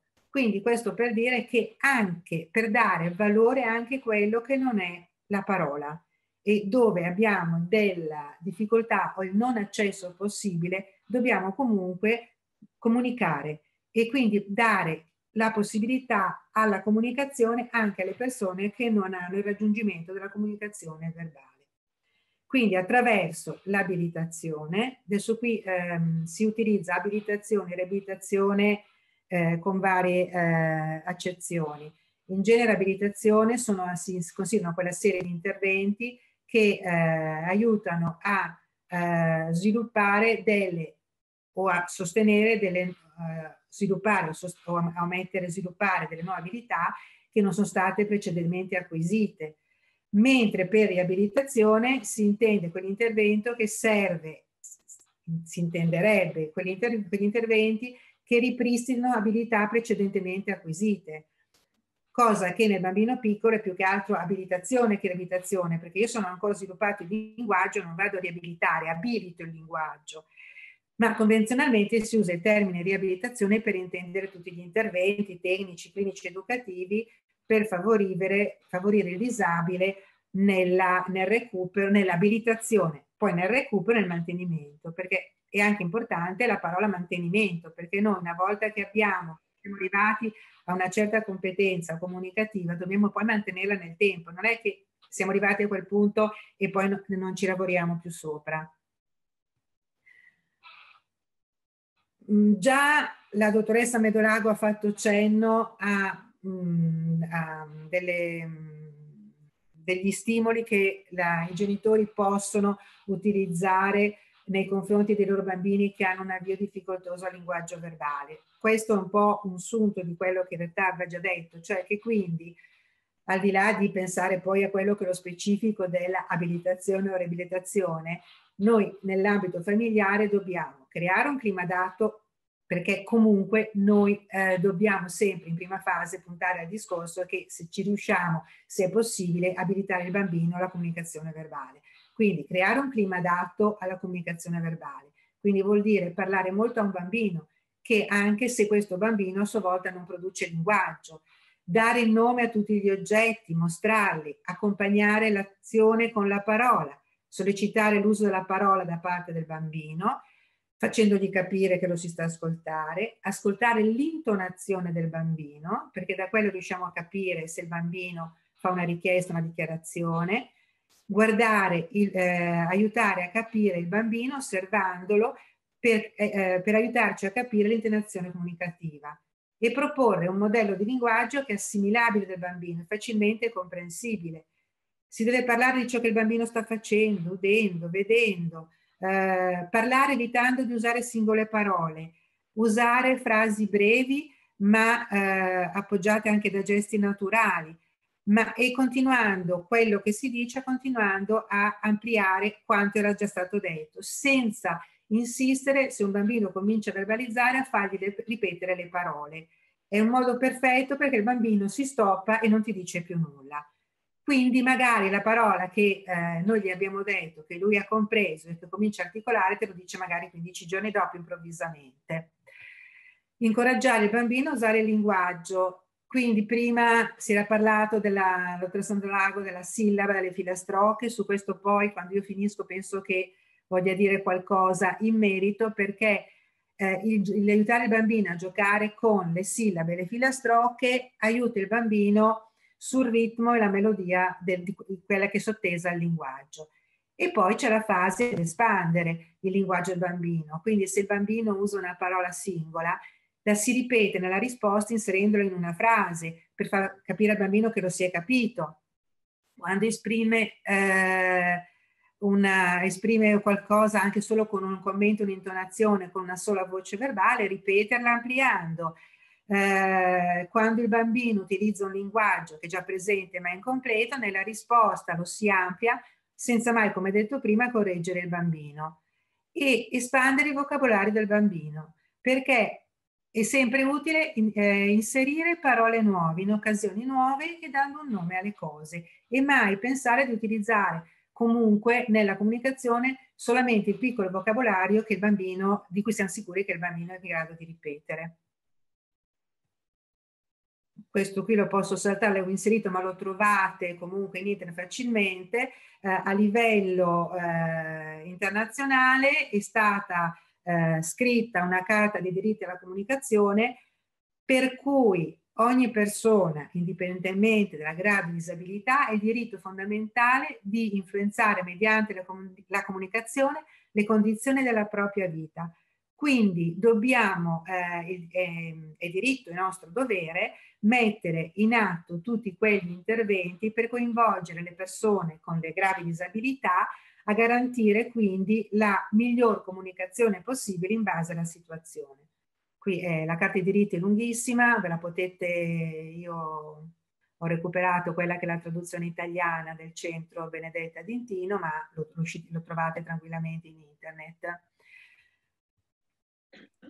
Rispetto alla terapia, perché se io ho un bambino che parla poco, male o per niente, eh, diciamo che si sono un po' creati nel corso dei tempi un po' due filoni principali. Un uh, indirizzo terapeutico prevalentemente indirizzato all'orientamento verbale, questo anche nell'ambito delle, frequentemente capita anche nell'ambito delle persone sorde che devono essere avviate al linguaggio verbale, per cui la meta finale della terapia è quello di portare il bambino a avere una verbalità, se non normale, la più vicina possibile. Quindi il maggior peso nell'ambito educativo e abitativo viene dato alla comunicazione verbale. Quando il bambino eh, arriva ad avere una situazione in cui la verbalità non procede o sembra improbabile che vada oltre, lì ci si ferma. E quindi questo eh, comporta anche poi purtroppo l'idea che eh, il ricorrere a modalità comunicative verbale è proprio solo un'estrema risorsa e quindi eh, modalità comunicative alternative al verbale vengono introdotte dopo che i tentativi di migliorare la verbalità sono falliti, il che abbiamo a che avere con un bambino poco comunicativo, eh, arrabbiato nei nostri confronti perché non riesce a farci capire e che quindi sta magari chiudendosi alla comunicazione. Quindi quando vediamo che l'avvio alla comunicazione verbale è molto difficoltosa, possiamo orientarci anche a pensare a eh, appoggiarci ad altri tipi di comunicazione, che non è detto che se eh, portati avanti in parallelo all'educazione a verbalità non sostengano poi anche lo sviluppo della comunicazione verbale. Quindi è molto più utile avere, eh, in, indirizzare la terapia a un orientamento cosiddetto comunicativo, per cui la meta finale è l'abilità a comunicare a, una, a un livello adeguato a soddisfare i bisogni comunicativi di quella persona. Il peso massimo della terapia viene dato allo sviluppo di un'adeguata abilità a comunicare e si conclude la terapia quando purtroppo oltre a un certo livello non, non otteniamo progresso della comunicazione questo non vuol dire che noi dobbiamo sospendere eh, di eh, sostenere la comunicazione magari anche minimale di quella persona. E quindi si considerano in, questa, in questo contesto le modalità comunicative averbali come tecniche utili provvisoriamente o permanentemente a raggiungere un'adeguata abilità a comunicare. Provvisoriamente perché può capitare una situazione in cui il... Ehm, la situazione può essere provvisoria perché non posso ad esempio usare il mio sistema pneumofono articolatorio per una patologia in quel momento eh, che mi colpisce, ma posso usare una, comunica una comunicazione eh, alternativa magari usata al momento. Allora, se dobbiamo scegliere una modalità comunicativa verbale, dobbiamo cercare di fare, per costruire un progetto, dobbiamo prendere in atto in, diciamo, dobbiamo tener conto di una serie di elementi. Quindi capi, farci un po' chiarezza. Quindi qual è la causa del disturbo comunicativo? Come comunica il soggetto nell'attuale? Quali sono i suoi bisogni comunicativi? Perché non abbiamo solamente bisogni comunicativi nell'ambito familiare, ma anche nell'ambito eh, scolastico, eh, sociale. Eh, qual è il suo livello di linguaggio interno, recettivo ed espressivo? E vedere tra i vari sistemi comunicativi e verbali quale potrebbe essere più utile usare nel suo contesto.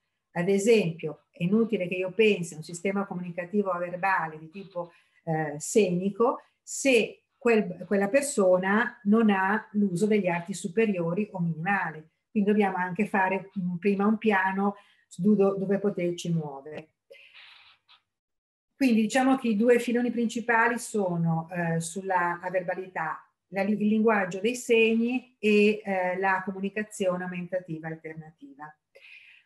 Ripeto che non bisogna pensare a utilizzare questi sistemi quando eh, la situazione è arrivata, eh, il bambino è cresciuto, non comunica in altro modo, ma dobbiamo vedere se è possibile integrare questo tipo di comunicazione già eh, molto precocemente. Allora, il linguaggio dei segni è, eh, noi pensiamo al linguaggio dei segni in genere come la lingua eh, dei segni utilizzata dalle persone sorde.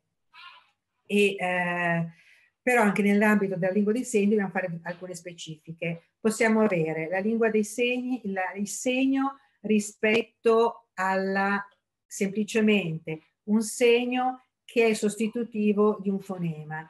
Ad esempio, io faccio questo segno che è la, la lettera A e tutte per tutte le altre lettere dell'alfabeto. Non è economico perché se dovessi con un, ogni segno una lettera non la finirei più di comunicare attraverso la dattilogia.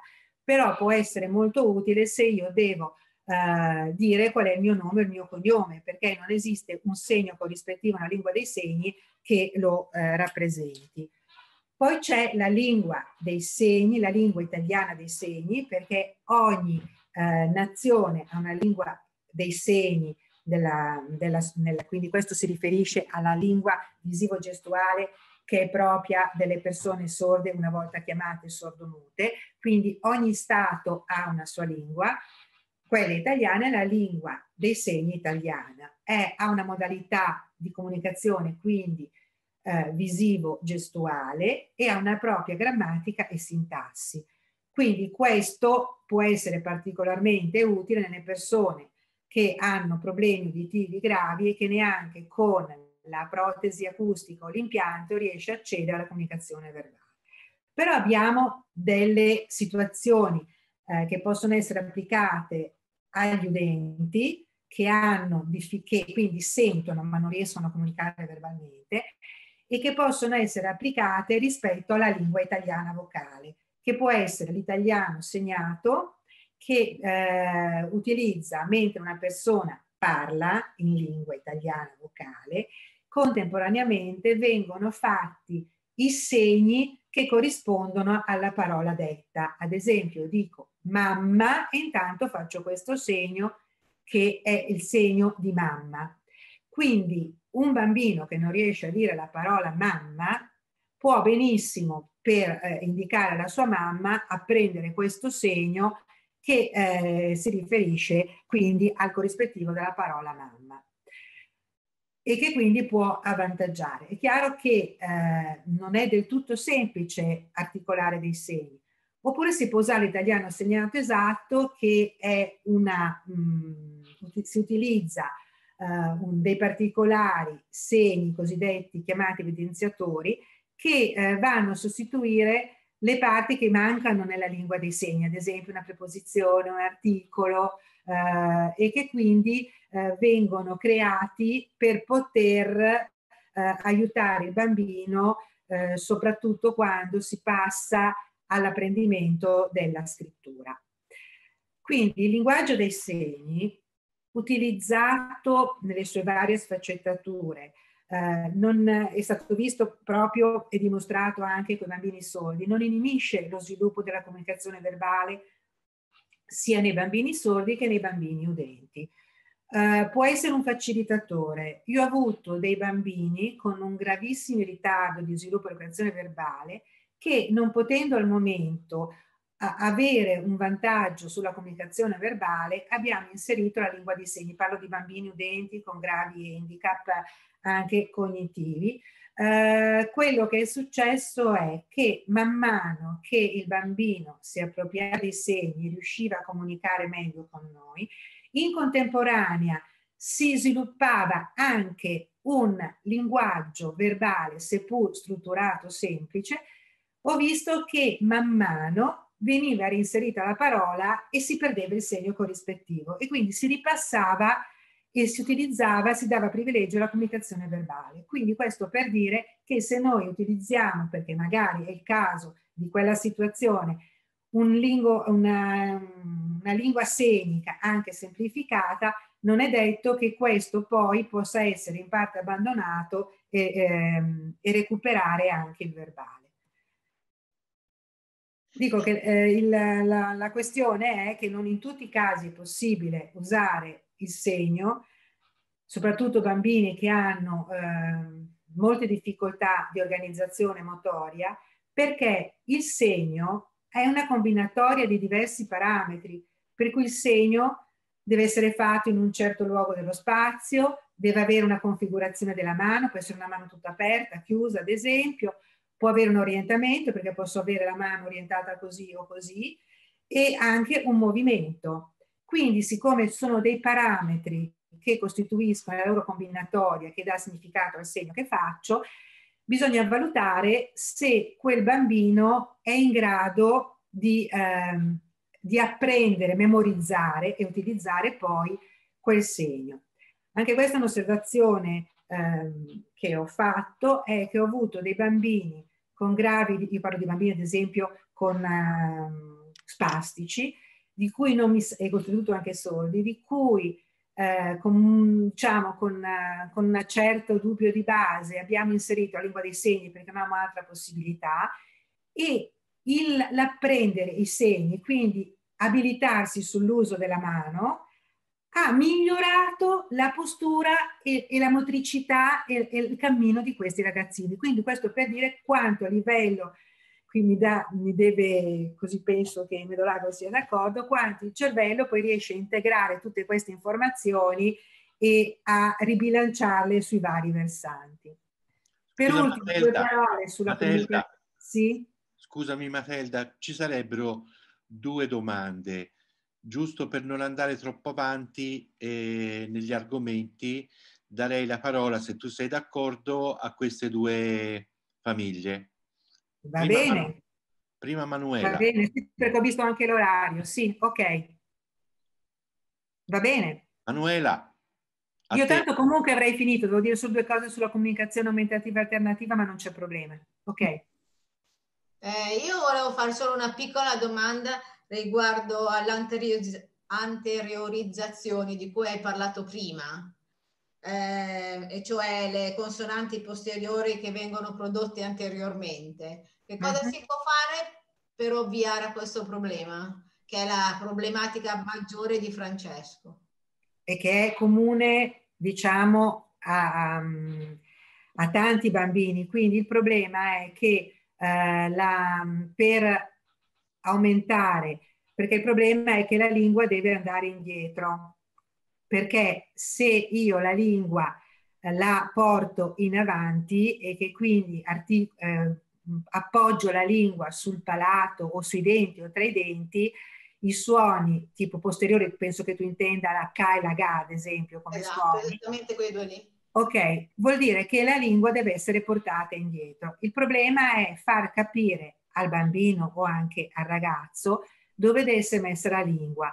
Quindi, ad esempio, molto, cioè se, se è collaborante, ma Francesco mi sembra più che collaborante, ti puoi mettere con lui di fronte a uno specchio, prendere il manico di un, di un, cucchiaio, fargli vedere la lingua che gliela spinge un po' indietro e intanto cerchi di fargli dire il K, tenendo la lingua portata indietro, in modo che lui a livello acustico capisca che succede qualcosa di diverso, che un conto è dire la stessa cosa con la lingua tutta in avanti e tutta indietro.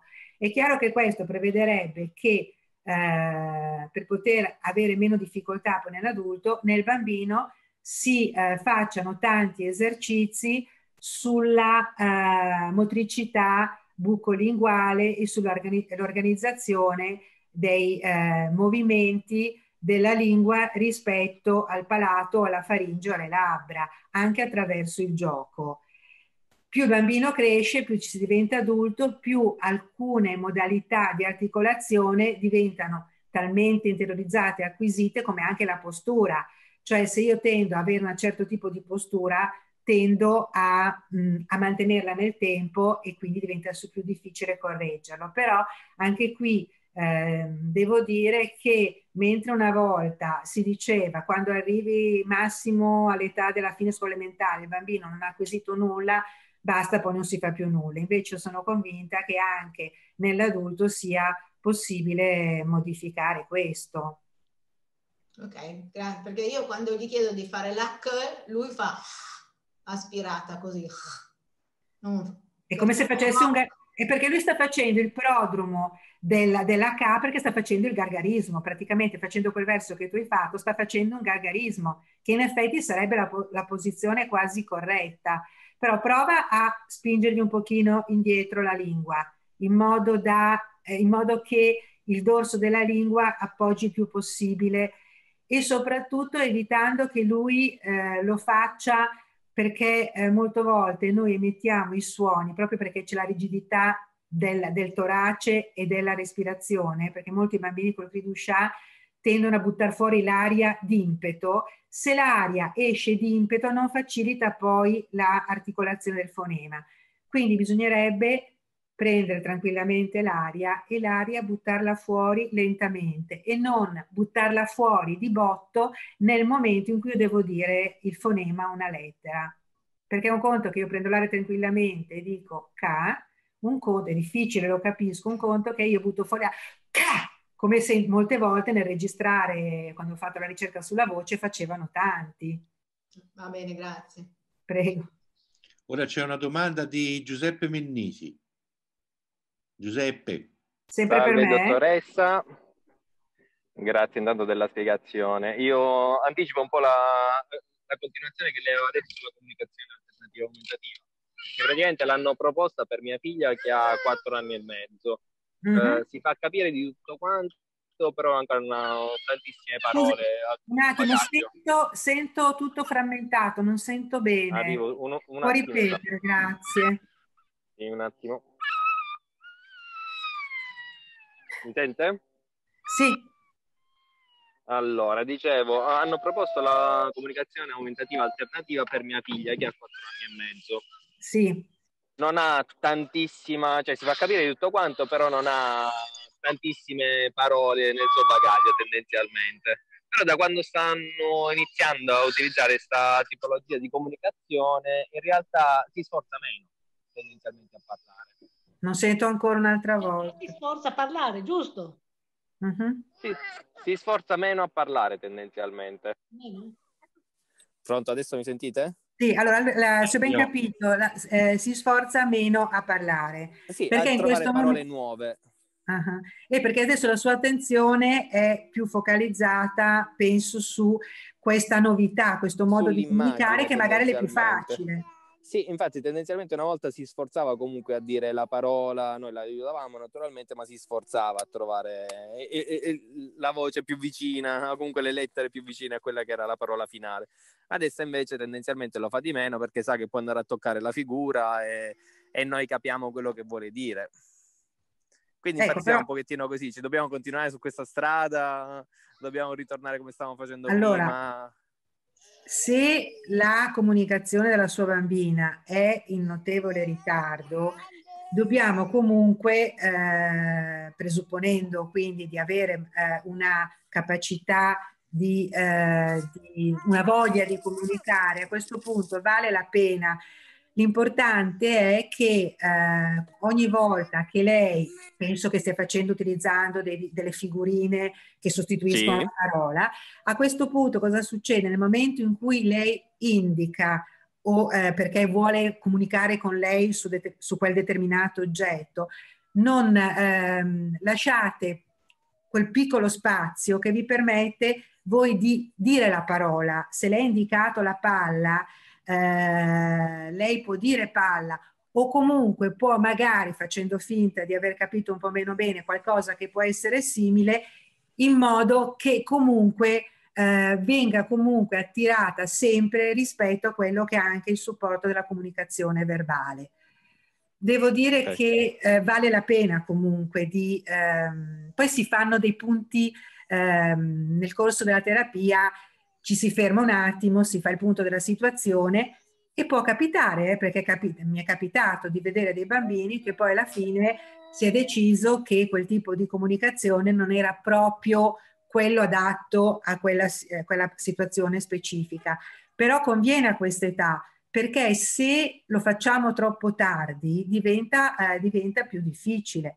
Dovesse capitare che la sua bambina non acquisisca una competenza, io non, non, non possiamo mai fare delle previsioni perché no, certo, la medicina non è una scienza esatta purtroppo, per cui poi noi tante volte ci eh, diciamo ah non sarà più possibile, poi magari dopo qualche anno vediamo che tutto è cambiato.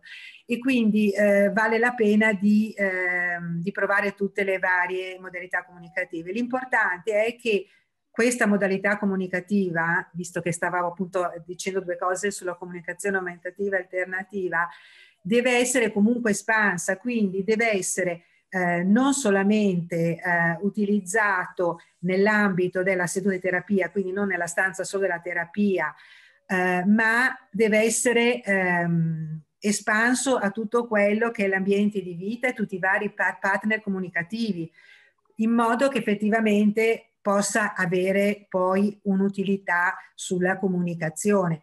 Ora siamo un po' bloccati dal discorso della, della, non possibilità di fare tante cose per via del Covid, però in questo caso penso che la tecnologia vi aiuti. Volete comunicare con chi segue la vostra bambina o col terapista attraverso il computer, è possibile comunque andare avanti a lavorare anche su questo tipo di comunicazione, ma questo anche sul linguaggio. Quindi, eh, però l'importante è che questo strumento eh, venga venga utilizzato in tutti gli ambiti in modo che veramente la bambina se ne appropri proprio veramente come una possibilità di poter comunicare le sue esigenze, le sue esperienze in tutti i vari ambiti. Che adesso saranno quelli di casa purtroppo e non di più. Grazie mille, gentilissima veramente. Prego. Matilda, se vuoi finire un attimo le, le sì, diapositive, eh, il, il papà, chi ha fatto la domanda semplicemente ha, eh, cioè nel senso che mi ha anticipato, nel senso che la comunicazione aumentativa alternativa, che è, eh, è quel termine generale in cui si eh, inseriscono quella serie di, di tecniche, di strategie, ormai anche molto tecnologiche, che facilitano la comunicazione nelle persone che hanno difficoltà a usare il canale comunicativo, cioè il linguaggio orale e anche a volte la scrittura. Non sono delle modalità comunicative che, come detto due secondi fa il papà, non inibiscono lo sviluppo, per quanto, se questo è possibile, anche della comunicazione verbale. Le ricerche fatte, mi riferisco alle ricerche fatte dalla, dalla Onlus eh, di Intino che si occupa di, in particolar modo di autismo, eh, indicano che, eh, evidenziano che a volte eh, una volta acquisite le fa, le, la, la, base della comunicazione alternativa, aumentativa alternativa, a un certo punto fa, accelerano anche lo sviluppo del linguaggio verbale. E eh, quindi deve essere Proprio per questo deve essere precoce, perché questo sostiene, al di là della comunicazione verbale, lo sviluppo cognitivo, la comprensione e il pensiero e migliora anche alcuni problemi di comportamento del bambino che non riesce facilmente a comunicare con la parola. E come ho detto prima al papà, deve essere proprio usato nei vari ambiti. Poi che io utilizzi un sistema tecnologico sofisticato perché ho tutte le figurine, i disegni sul computer, eh, su un tablet o invece utilizzo eh, finché, finché la, la, tecnologia non ci ha aiutato, eh, dei disegni, avendo dei quaderni, delle tabelle a cui fare riferimento e che man mano si espandono, l'importante è che deve essere utilizzato in tutti gli ambiti e non solamente e questo succede anche per chi fa la terapia del linguaggio verbale, solamente nella seduta con il logopedista, ma deve essere ripreso qualsiasi apprendimento e riportato e rincalzato in tutti i vari ambiti, quindi vuol dire gli ambienti educativi, la scuola. L'importante è che, questa è l'ultima slide, che deve essere fatta una valutazione, quindi bisogna per valutare poi se si parte con un progetto di questo tipo e come l'intervento funziona, la persona e le sue abilità comunicative, quindi se ha voglia di comunicare, quali sono le sue basi cognitive, linguistiche, motorie e sensoriali, quali sono gli ostacoli all'accessibilità alla comunicazione e quindi anche andare a ehm, ridurre e, e, a mettere in atto opportunità rispetto alle barriere ambientali che purtroppo a volte eh, eh ci, ci troviamo di fronte. Io con questo penso di aver detto più o meno tutto, saltando alcune cose, ma il tempo è quasi finito. Eh, forse devo rilasciare la parola alla dottoressa Medolago che va a dire forse due cose sulla, sull'uso delle sillabe, mi pare.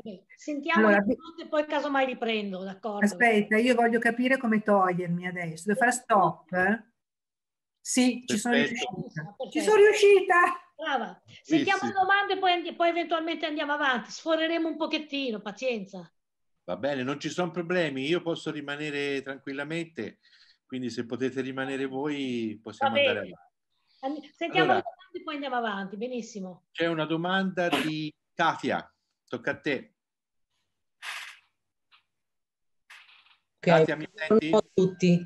Allora, io uh, sono la mamma di Miriam, che è una bimba di, di un anno, e, e però vabbè, in realtà dimostra, cioè di meno. E, e Miriam le è stata mh, mm, diagnosticata una ipocosia bilaterale, eh, di cui ha un orecchio una ipocosia tra, bilaterale trasmissiva. Ora, il consiglio che ci hanno dato è quello di uh, fare dei lavaggi nasali.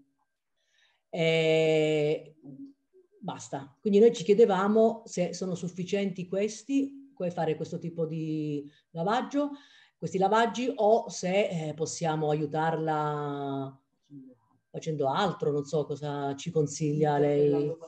O, e, e, poi ci chiedevamo pure se a questa età, se già possiamo consultare un foniatra, eh, perché Miriam, lei adesso ci, ci, segue, mm, comincia a seguirci con lo sguardo, eh, comincia a seguirci con lo sguardo, comincia a, um, vabbè, lei emette dei suoni, niente di eh, diciamo, come comunicazione con noi è che comincia anche a, a, vedere noi, perché in realtà Miriam è una bimba che in, con noi in affidamento perché è stata un periodo in, um, in ospedale e poi in una casa famiglia, quindi con noi da, un, da cinque mesi.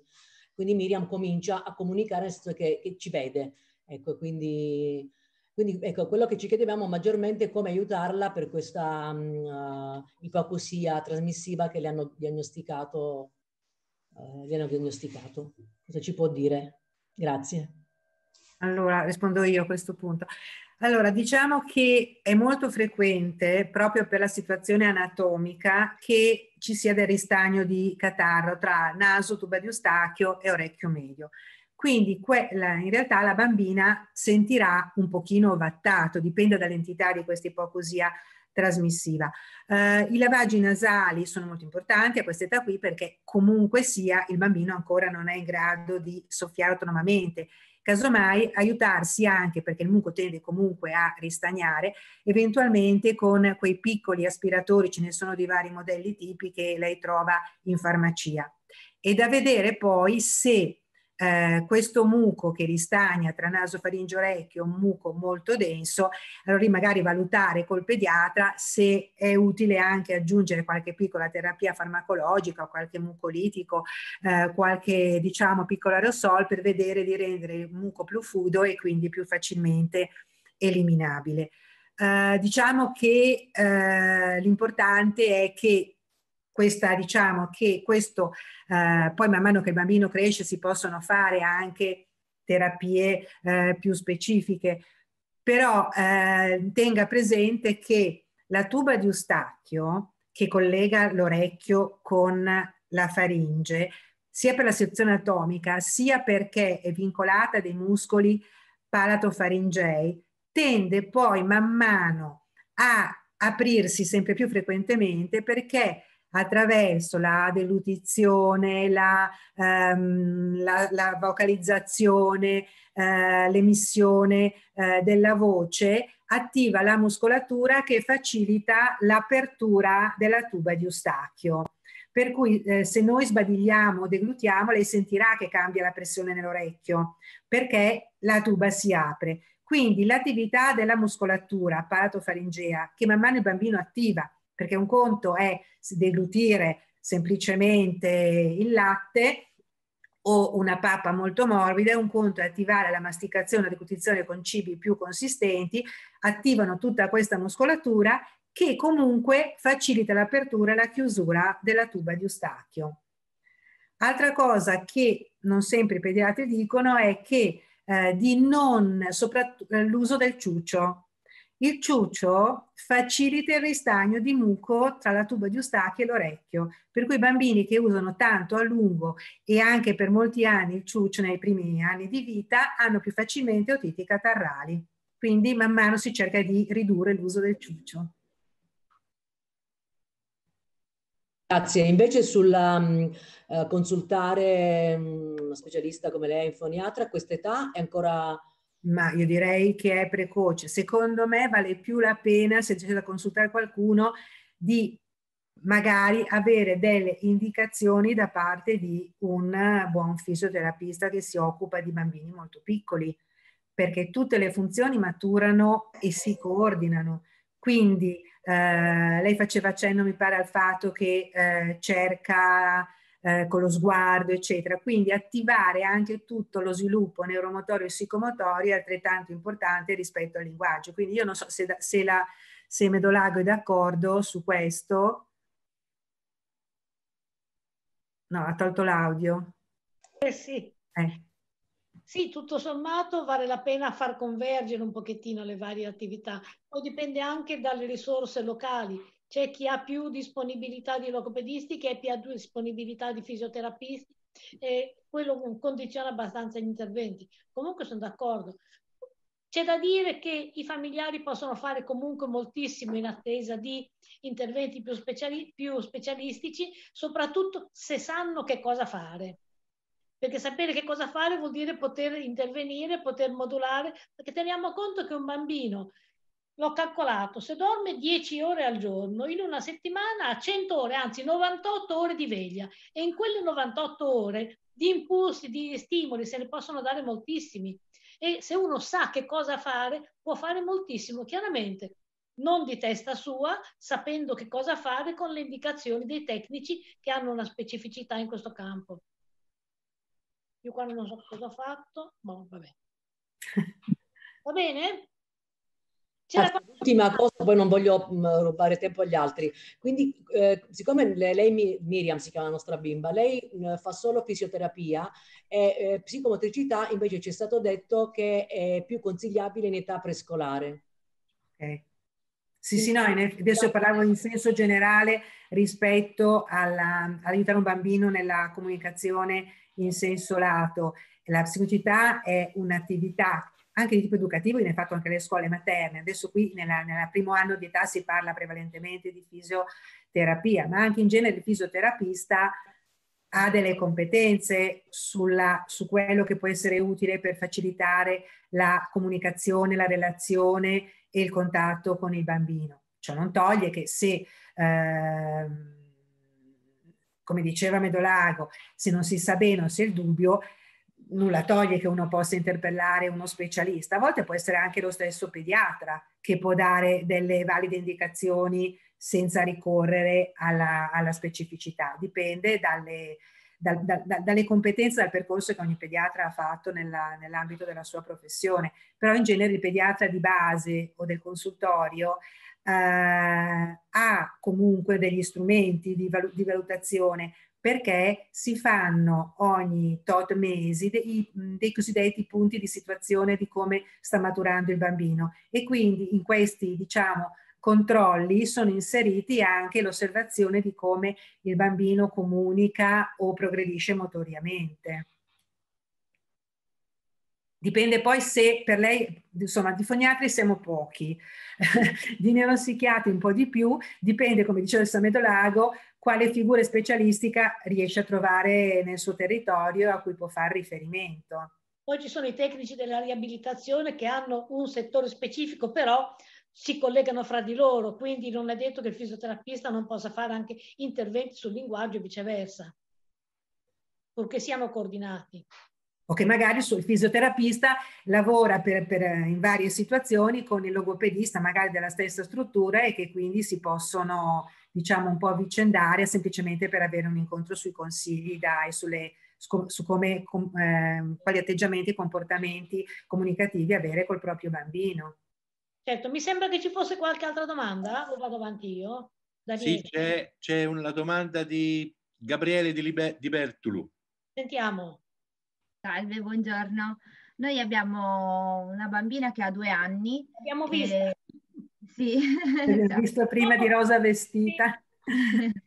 e praticamente lei sta iniziando a lallare, fa qualche suono, ripete qualche suono così. E volevamo capire un po' quando dovrebbe iniziare in realtà il, il percorso di, di, logopedia, perché noi non abbiamo ancora, ancora cominciato, insomma, in una struttura. Noi facciamo soltanto psicomotricità e fisioterapia e gli esercizi diciamo che ci ha dato la dottoressa Pedrinazzi. Però logopedia con un, eh, con un professionista non l'abbiamo ancora cominciata. Non so chi dovrebbe darci questo inizio, insomma, chi, chi dovrebbe suggerirci co- quando iniziare. Non so se hai qualcosa da dire, ma secondo me possono dire molto le persone che già lavorano con la bambina per rendersi conto se è il momento di intervenire o okay. Comunque dopo portatela davanti allo schermo a vedere quello che vi presento, perché forse c'è qualche cosa che le interessa. Matilda, hai qualcosa da aggiungere?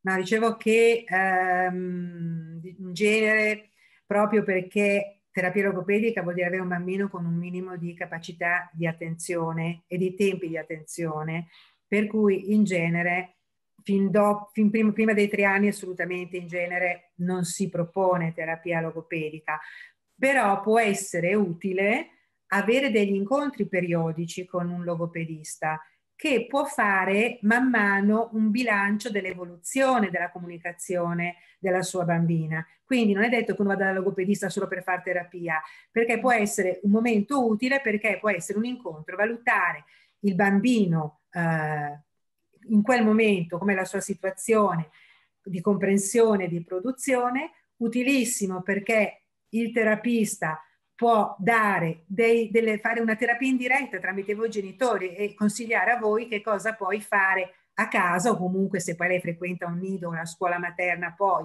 anche agli educatori. Quindi proprio per, per non perdere il tempo, perché siccome purtroppo la realtà è che i tempi di attesa delle visite all'educazione sono molto spesso, perché c'è, c'è poco personale riabilitativo sul territorio in realtà, una, eh, e quindi conviene è come un po' mettersi in nota, per cui nel momento in cui facendo, non so, ogni sei mesi il bilancio della situazione, il logopedista dice ecco questo è il momento per iniziare, quindi è tranquillizzante per voi non porvi sempre la domanda del è utile farlo o non farlo. Io fa, poi siccome ha detto che è seguito dalla, dalla dottoressa Pedrinazzi, lei è la prima che vi dirà quando è il momento di, di iniziare su questo specifico.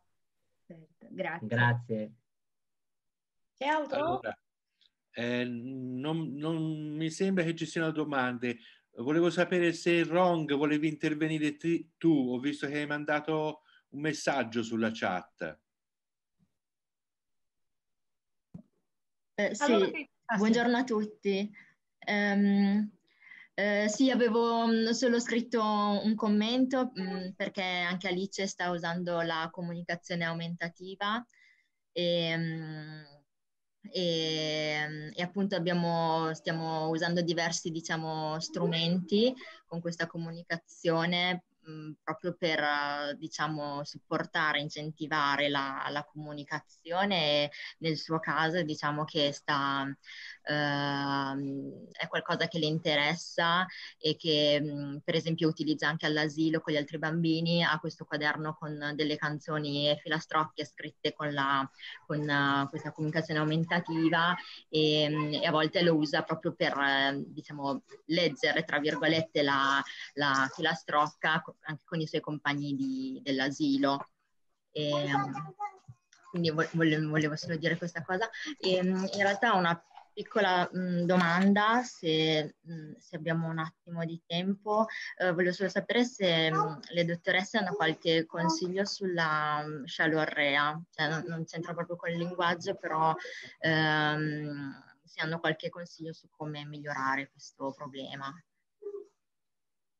Deglutizione, Mazzocca. Allora, stavo facendo di capire, allora la eh, vuol dire che io ho poca tonicità della muscolatura buccale. Allora, eh, per ridurre la scialorea bisognerebbe cercare di ehm, stimolare la bambina a fare, perché, mh, perché c'è scialorea? In parte perché appunto c'è poca tonicità delle labbra che tengono chiusa la bocca e quindi permettono che la saliva non scappi fuori ma anche perché molte volte facciamo meno atti deglutitori. Nella, perché noi deglutiamo nel momento in cui mangiamo, ma deglutiamo anche spontaneamente la saliva.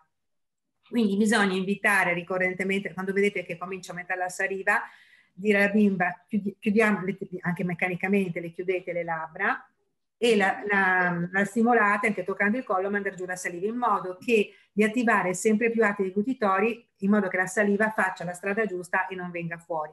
L'altra cosa è fare tanti piccoli giochi per dare tonicità alle labbra, quindi non so, mandare i baci, fare le pernacchie, sputare, eh, in modo, eh, non so, tenere tra le labbra un cartoncino in modo che le labbra restino chiuse. Sempre questo se la bambina, per un'altra cosa da tener conto, che non abbia magari qualche problema di tipo nasale, perché molto spesso la scialorea è legata al fatto che respiro più dalla bocca che dal naso e non tengo le labbra quasi mai chiuse, quindi è da verificare che la bimba respiri bene dal naso.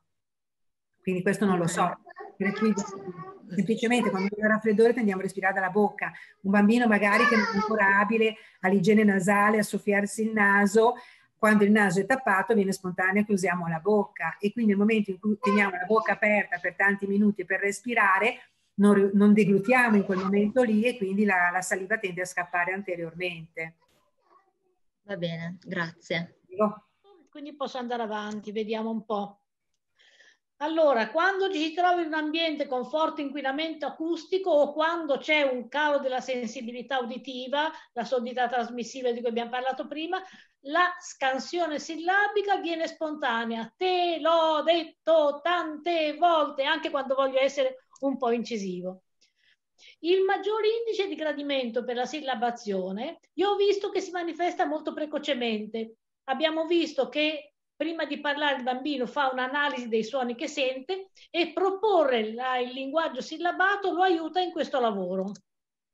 Allora, ho attinto alla elencazione di 1719 sillabe identificate in italiano. Il lavoro non è mio, il lavoro è di Stella e Job, che si sono da, presi la briga di andare a vedere che sillabe usiamo in italiano e ne hanno identificate una valanga. Io sono andata a scegliere quelle più utilizzate quelle più utilizzate che non sono le prime che si dicono e non sono neanche quelle che si leggono e che si scrivono, sono quelle che usiamo di più. E la sillaba in, eh, in assoluto più usata in italiano è la sillaba di, seguita da to, la e via di seguito. Qui le ho elencate, le manderò a, a Daniele da avere a disposizione, però certamente non ve le sto a illustrare adesso. Allora abbiamo approntato una presentazione animata, qui se ci sono bambini piccoli può valer la pena vedere se gli interessa. Perché, eh, dunque, dovrei aver inserito le sillabe animate, devo andare sull'altro allora. No, lo faccio dopo, scusate, vado avanti perché sennò mi perdo. Abbiamo introdotto, allora eh, lo presento dopo, lo presento dopo perché non voglio ricominciare da capo, eh, dove c'è prima il suono di, compare la sillaba di e poi ripetuto di, col metodo sandwich, tanto per intenderci, quindi prima l'audio, poi il video, poi l'audio. Questo tipo di presentazione piace molto ai bambini che hanno difficoltà di discriminazione uditiva, ma questo vale anche per le persone adulte sorde, vale anche per chiunque abbia un problema di identificazione della, dei componenti della parola. Eh, io ho visto che, ehm, così sull'esperienza, perché l'ho visto su qualche centinaio di bambini, non solo con la sindrome del cri ma con altre sindromi e altri problemi, che l'interesse per la sillabazione è molto alto prima di imparare, prima di avere, di avere la comprensione delle parole, perché allora poi si sposta su sugli oggetti sulle immagini e via di seguito lo si può riproporre, allora l'analisi fonetica si può riproporre come indovinello. Allora, dov'è? Fammi vedere la ma no, e il bambino indica la mano, tocca il naso e il bambino tocca il naso. È un gioco che ai bambini piace molto. Piace molto sia in fase di comprensione, sia quando devono accedere alla lettura la, la, capacità di fare un'analisi fonetica di questo tipo favorisce moltissimo l'apprendimento della lettura perché a mano a mano che un bambino decodifica i simboli, li, tras- li trasforma in suoni e riesce a identificare la parola un pezzo vicino all'altro. Se io leggo m, a, n, o non capisco niente, se io leggo ma, no, è intuitivo che ho detto mano. Eh, quindi si possono proporre singole parole proprio giocandoci, dove la mano, dove la testa, o va bene mano che sono due sillabe semplici, ma va bene anche testa, va bene anche corpo, vale a dire l'importante è che siano due emissioni vocali, non che siano due combinazioni consonante, eh, consonante vocale come mano, come mano, perché l'importante è quante emissioni di voce, com'è la sillaba strano sono due sillabe, va bene anche se stra è una sillaba maledettamente complessa. Eh, quando il riconoscimento è consolidato, quello di due sillabe, si passa a tre sillabe. Sembra banale, ma quando io dico al bambino di eh, indicarmi vari oggetti e poi davanti al tavolo gli dico tavolo, qualcuno si trova in grande difficoltà perché due sillabe non riuscito a metterle insieme deve fare il lavoro di passare alle tre. Sembra banale, ma è un passaggio. Dopo poi si passerà anche alle polisillabe e via di seguito. Quello che conta non è, come ho detto prima, la complessità delle sillabe, ma il loro numero.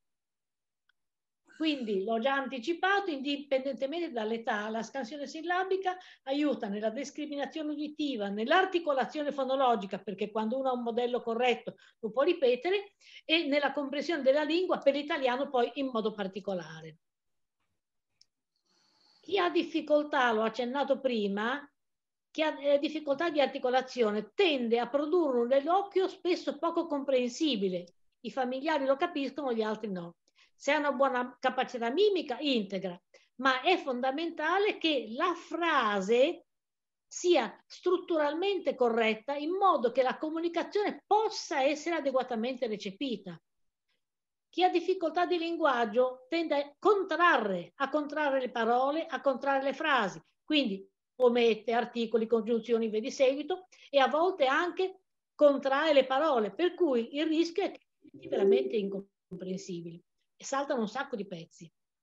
Allora, l'interesse per le, per le sillabe scritte animate, che dopo vi farò vedere, ricompare, cioè compare in prima fase, in fase chiamiamola prelinguistica se vogliamo, comunque in una fase in cui il bambino sta analizzando i suoni e quindi ha uno strumento per analizzarli meglio, ma ricompare quando ha accesso all'apprendimento della lettura, proprio perché può essere uno strumento di apprendimento di decodifica.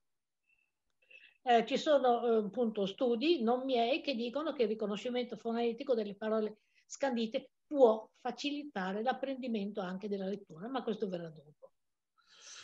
Eh, in fase di stimolazioni verbali può valer la pena provare sia con la scansione sillabica che con il linguaggio in generale a bisbigliare perché il basso tono di voce sollecita l'attenzione, mentre noi tendiamo per attirare l'attenzione a alzare il tono di voce e a volte ci sono bambini che hanno una sensibilità uditiva marcata, non so se è nelle tue esperienze Matilda, comunque il bisbiglio sollecita l'attenzione, a volte ci sono bambini iperattivi che sembra che non ascoltino mai, però quando diciamo qualcosa sottovoce sperando che non ascoltino, intervengono. Vabbè, siamo d'accordo. Siamo d'accordo. siamo d'accordo. E lo, stesso, è il problema, è lo stesso problema c'è, lo stesso interesse per la sillabazione ci può essere per tutti quelli che hanno appunto problemi di discriminazione uditiva e va bene. E, vale la, e mh, mm, la sillabazione, la scansione esatta può essere utile anche per chi è in un ambiente inquinato o per, chi, per gli stranieri, per gli stranieri che devono avere una percezione corretta delle parole, altrimenti le perdono. Quando io sento un conferenziere che parla inglese, faccio fatica a seguirlo, ma se il conferenziere è spagnolo o, o, o, italiano, lo capisco molto meglio perché scandisce l'inglese come lo capisco io e non come se lo mangiano gli inglesi o gli americani. Allora, tornando ai bambini, fin dalla prima infanzia è opportuno rafforzare la sillabazione. Abbiamo detto che la sillaba costituisce l'unità del linguaggio umano, la sillabazione rende più chiaro nell'occhio e facilita anche la compressione della lettura. E va bene. Qui c'è un altro discorso, quello delle filastrocche. Ai bambini piace ascoltare e riascoltare all'infinito le stesse cose, le stesse frasi, finché le memorizzano. I bambini sono degli studiosi, quando un bambino ha un libro che gli piace e vuole che glielo leggiamo regolarmente e vuole che glielo leggiamo esattamente con le parole che devono essere sempre le stesse, è che lo sta studiando, lo sta imparando a memoria. Quando l'ha imparato per benino, non ce lo chiede più. E se anche glielo proponiamo, ci preferisce qualcos'altro, perché ormai il lavoro di studio, di conoscenza, lo ha, eh, lo ha fatto. E una, mh, un grosso strumento linguistico sono le filastrocche, che sono presenti più o meno in tutte le culture, che da sempre sono utilizzate per sollecitare la, l'ascolto, a volte quando sono cantilenate servono anche per tranquillizzare o per conciliare il sonno e allora passiamo alle ninna nanne, che enfatizzano la prosodia. Na, na, na, la caratteristica è una cadenza ritmata, ripetitiva e la ripetitività sappiamo che concilia il sonno. Con le filastrocche possiamo alternare, torniamo indietro, ho fatto una fuga in avanti, si alternano posizioni cadenzate ba con altre sillabate in cui si scandisce bene. Daniele, Ma siamo, senti, quasi quasi no, perché tanto alle tre e mezzo sono qui e forse mi metterei a fare due o tre cose in modo che così il lunedì non sono costretto a ritornare. Stiamo sentendo. Eh? Da fare una spedizione, fare un pacco. Eh? Inizia alle 4. Sappiamo che lunedì sei impegnato, sì. va bene? Non ci sta ascoltando. Ok, va bene. E non dovrebbe durare tantissimo, nel senso che la Carlotta, dopo che ha parlato 45 minuti, metti massimo, massimo, un'ora, poi si fa le domande, però dovrebbe finire abbastanza presto oggi. Allora, se la filastrocca è cadenzata con rime e metrica corretta, è meglio. E io vi cito questa. Questa è una filastrocca della mia infanzia. Io vengo da una famiglia numerosa. Quando l'ultima delle mie sorelle imparava a parlare, io sapevo già leggere e scrivere. Avevamo un libro di filastrocche e lei me le chiedeva. Quella che secondo me era di un'idiozia abissale, a lei piaceva da morire, tanto che l'ho memorizzata e me la ricordo ancora adesso, è passato qualche anno, no? Ed è la balia della lella la vuol vestir di lilla, puntarle con la spilla la gala sulla spalla. Ci sono delle rime, ci sono c'è una scansione, eh, eh, c'è una metrica corretta e una ripetitività, ma sono tante sillabe molto simili fra di loro. Io adesso, a distanza di tanti anni, comincio a capire perché a mia sorella piaceva tanto questa filastrocca. Non la leggo tutta, la mando a Daniele se volete gliela, gliela potete chiedere. Eh, viene sollecitata la discriminazione tra suoni molto simili fra loro. La baglia della lella la vuol vestire di lilla. Se la filastrocca viene scandita sillaba per sillaba, i livelli di attenzione nei bambini più piccoli aumentano notevolmente. Se ci sono altri bambini in casa, saranno degli ottimi ripetitori perché la imparano prima e poi la ripetono e la ripetano loro. Quindi vale la pena anche giocare su questo. Eh, se abbiamo giocato all'ascolto di filastrocche, abbiamo notato che ci sono delle particolari preferenze, utilizzeremo le, le filastrocche preferite per riproporle con una modalità nuova, vale a dire tronca. La baglia della lella la vuol vestire di lilla, puntarle con la spilla la gala sulla spalla, viene abbastanza istintivo completarlo. Allora, nella mia esperienza ci sono bambini che collaborano e completano, altri che fanno una bella risata e aspettano che io gliela completi. Allora lì vabbè, il gioco non funziona. Si possono anche utilizzare le filastrocche in dialetto o in qualsiasi altra lingua, purché se ne abbia un'adeguata padronanza. Se io do una filastrocca in una lingua straniera, devo però avere una pronuncia corretta. Non posso eh, usare una pronuncia storpiata. Però c'è da dire che molti stranieri che abitano in Italia si ricordino che possono benissimo attingere alle loro culture, alle loro filastrocche, alle loro nini, alle nonne, alle loro eh, ninne nanne, perché questo non solo è autorizzato, ma permette al bambino di crescere bilingue. E poi adesso ci arriviamo. Studi sul bilinguismo farebbero ipotizzare che le fasi di apprendimento siano particolarmente importanti per la plasticità delle strutture cerebrali deputate all'apprendimento del linguaggio. Vale a dire, se io lavoro su una lingua sola, faccio un lavoro a livello, a livello cerebrale delle zone deputate all'analisi del linguaggio, in particolare dell'emisfero sinistro. Ma se lavoro su più di una lingua, il bambino fa un lavoro di plasticità molto maggiore, quindi diventa, tra virgolette, più intelligente se vogliamo, no? Eh, ci sono studi sempre eh, sul bilinguismo che inducono a ritenere che l'esposizione precoce del bambino a più lingue comporti un maggiore sviluppo delle zone cerebrali corticali specializzate nelle funzioni linguistiche. oh, una lingua imparata precocemente è, come si suol dire, una lingua madre, mentre una lingua imparata alla mia età posso ancora impararla, a parte il fatto che faccio una fatica dell'altro mondo, ma in realtà eh, si mantiene poi l'impostazione di quello che è il mio linguaggio di base, di partenza. Mentre un bambino che cresce bilingue ha l'impostazione che è esattamente quello della lingua giusta. O senza rendercene conto, molti di noi sono bilingui fin dalla prima infanzia, perché chi è cresciuto in un ambiente dove si parla dialetto non, non ci ha mai pensato, ma in realtà il dialetto lo possiamo considerare come un'altra lingua. E se ci sono nonni o persone che parlano ancora il dialetto, non perdiamolo, è, una, è un patrimonio culturale che ormai andrà all'UNESCO, ma intanto cominciamo a coltivarlo nel nostro orticello. È un arricchimento. Tenete conto che un bambino può imparare, se non a pronunciare, a capire l'italiano e un dialetto, senza tanta fatica in pochi anni di vita. Eh, più, più avanti, se uno vuole imparare una lingua straniera, impiega molto più tempo e molta più fatica. Allora, non c'è dubbio che una lingua sola richiede meno tempo e fatica, ma se ne impara una sola. Non solo.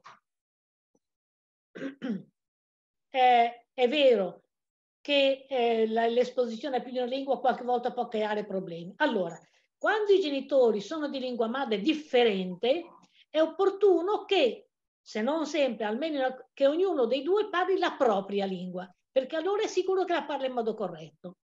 Oppure, se io posso, ho una buona conoscenza del francese e non dell'inglese, voglio far parlare in francese il mio bambino, prenderò il librino francese, prenderò un momento in una cornice dove è chiaro che cambio registro e allora posso proporgli una lingua straniera purché sappia di conoscerla bene, altrimenti beh, è meglio non, non buttarsi. L'ideale è che persone di lingue differenti le parlino ognuno la propria. Per il bambino è molto più facile sintonizzarsi sulla lingua di Caio o su quella di Tizio, piuttosto che dover mettere ordine spontaneamente su diverse informazioni che gli vengono dalle stesse persone.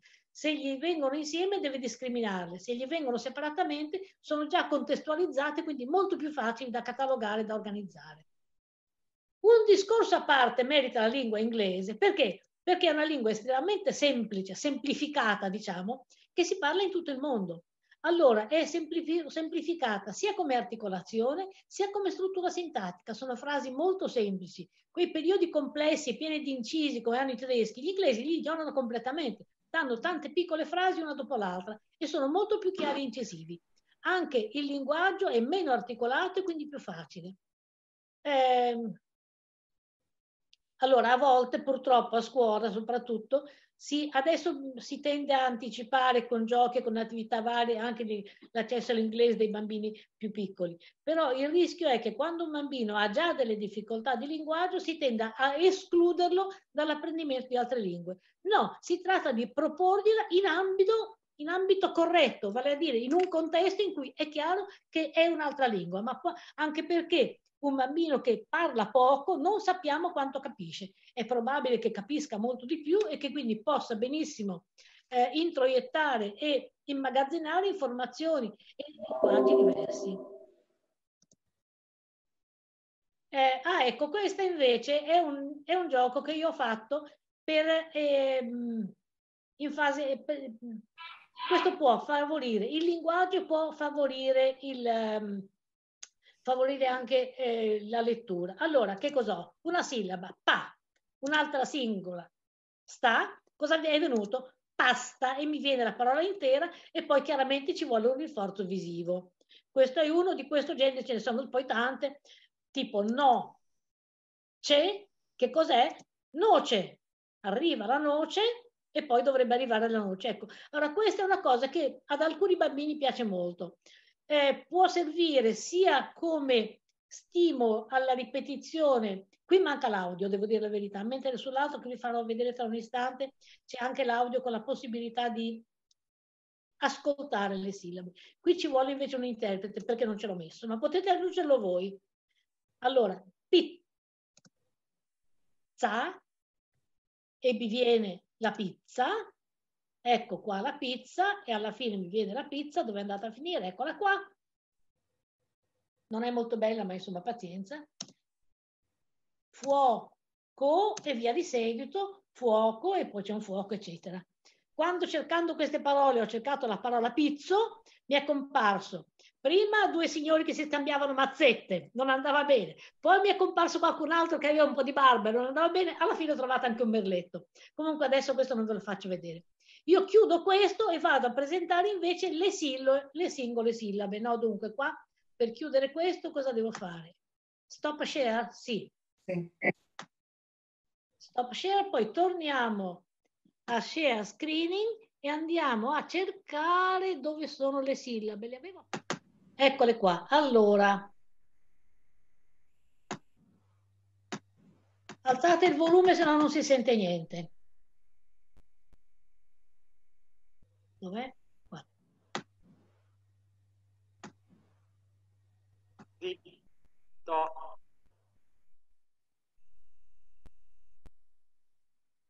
do, la,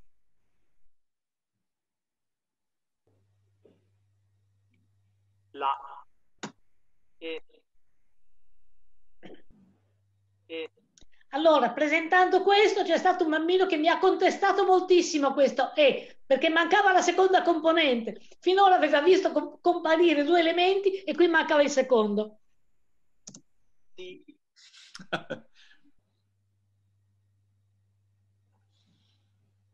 Sì. Allora, vi ho mostrato le cinque sillabe più usate in italiano. Adesso vediamo se ne ho aperte anche delle altre, ho paura di... Perché non parte?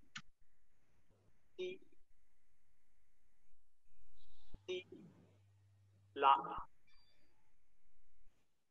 La. E. E. Do. Do. Di. Di. Allora, che cosa avete visto? Le stesse cinque sillabe presentate in un ordine diverso, con un'animazione differente, in modo da apparire una cosa diversa. In realtà qui le sillabe però sono, sono entrate intere. È molto più importante giocare su questo tipo di presentazione che non su quello di lettere separate. La presentazione delle sillabe a lettere separate ha senso al momento in cui uno ha accesso alla lettura, perché allora può analizzare come è costruita.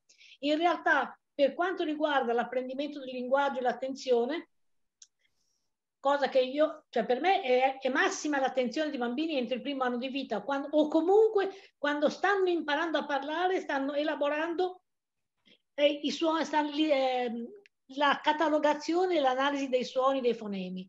E quando l'hanno acquisito gli serve di nuovo per imparare a leggere, quindi a ricostruire le lettere. Qui se volete posso andare avanti perché su questo ho fatto 100, su 100 sillabi, abbiamo fatto le presentazioni e ogni cinquina ha cinque presentazioni diverse, ma ve le risparmio. Mi sembra così di aver dato un'idea generale. So che adesso la BC ce l'ha già, quindi non te lo mando, mentre ti manderò l'altra presentazione, la presentazione delle diapositive. Va bene?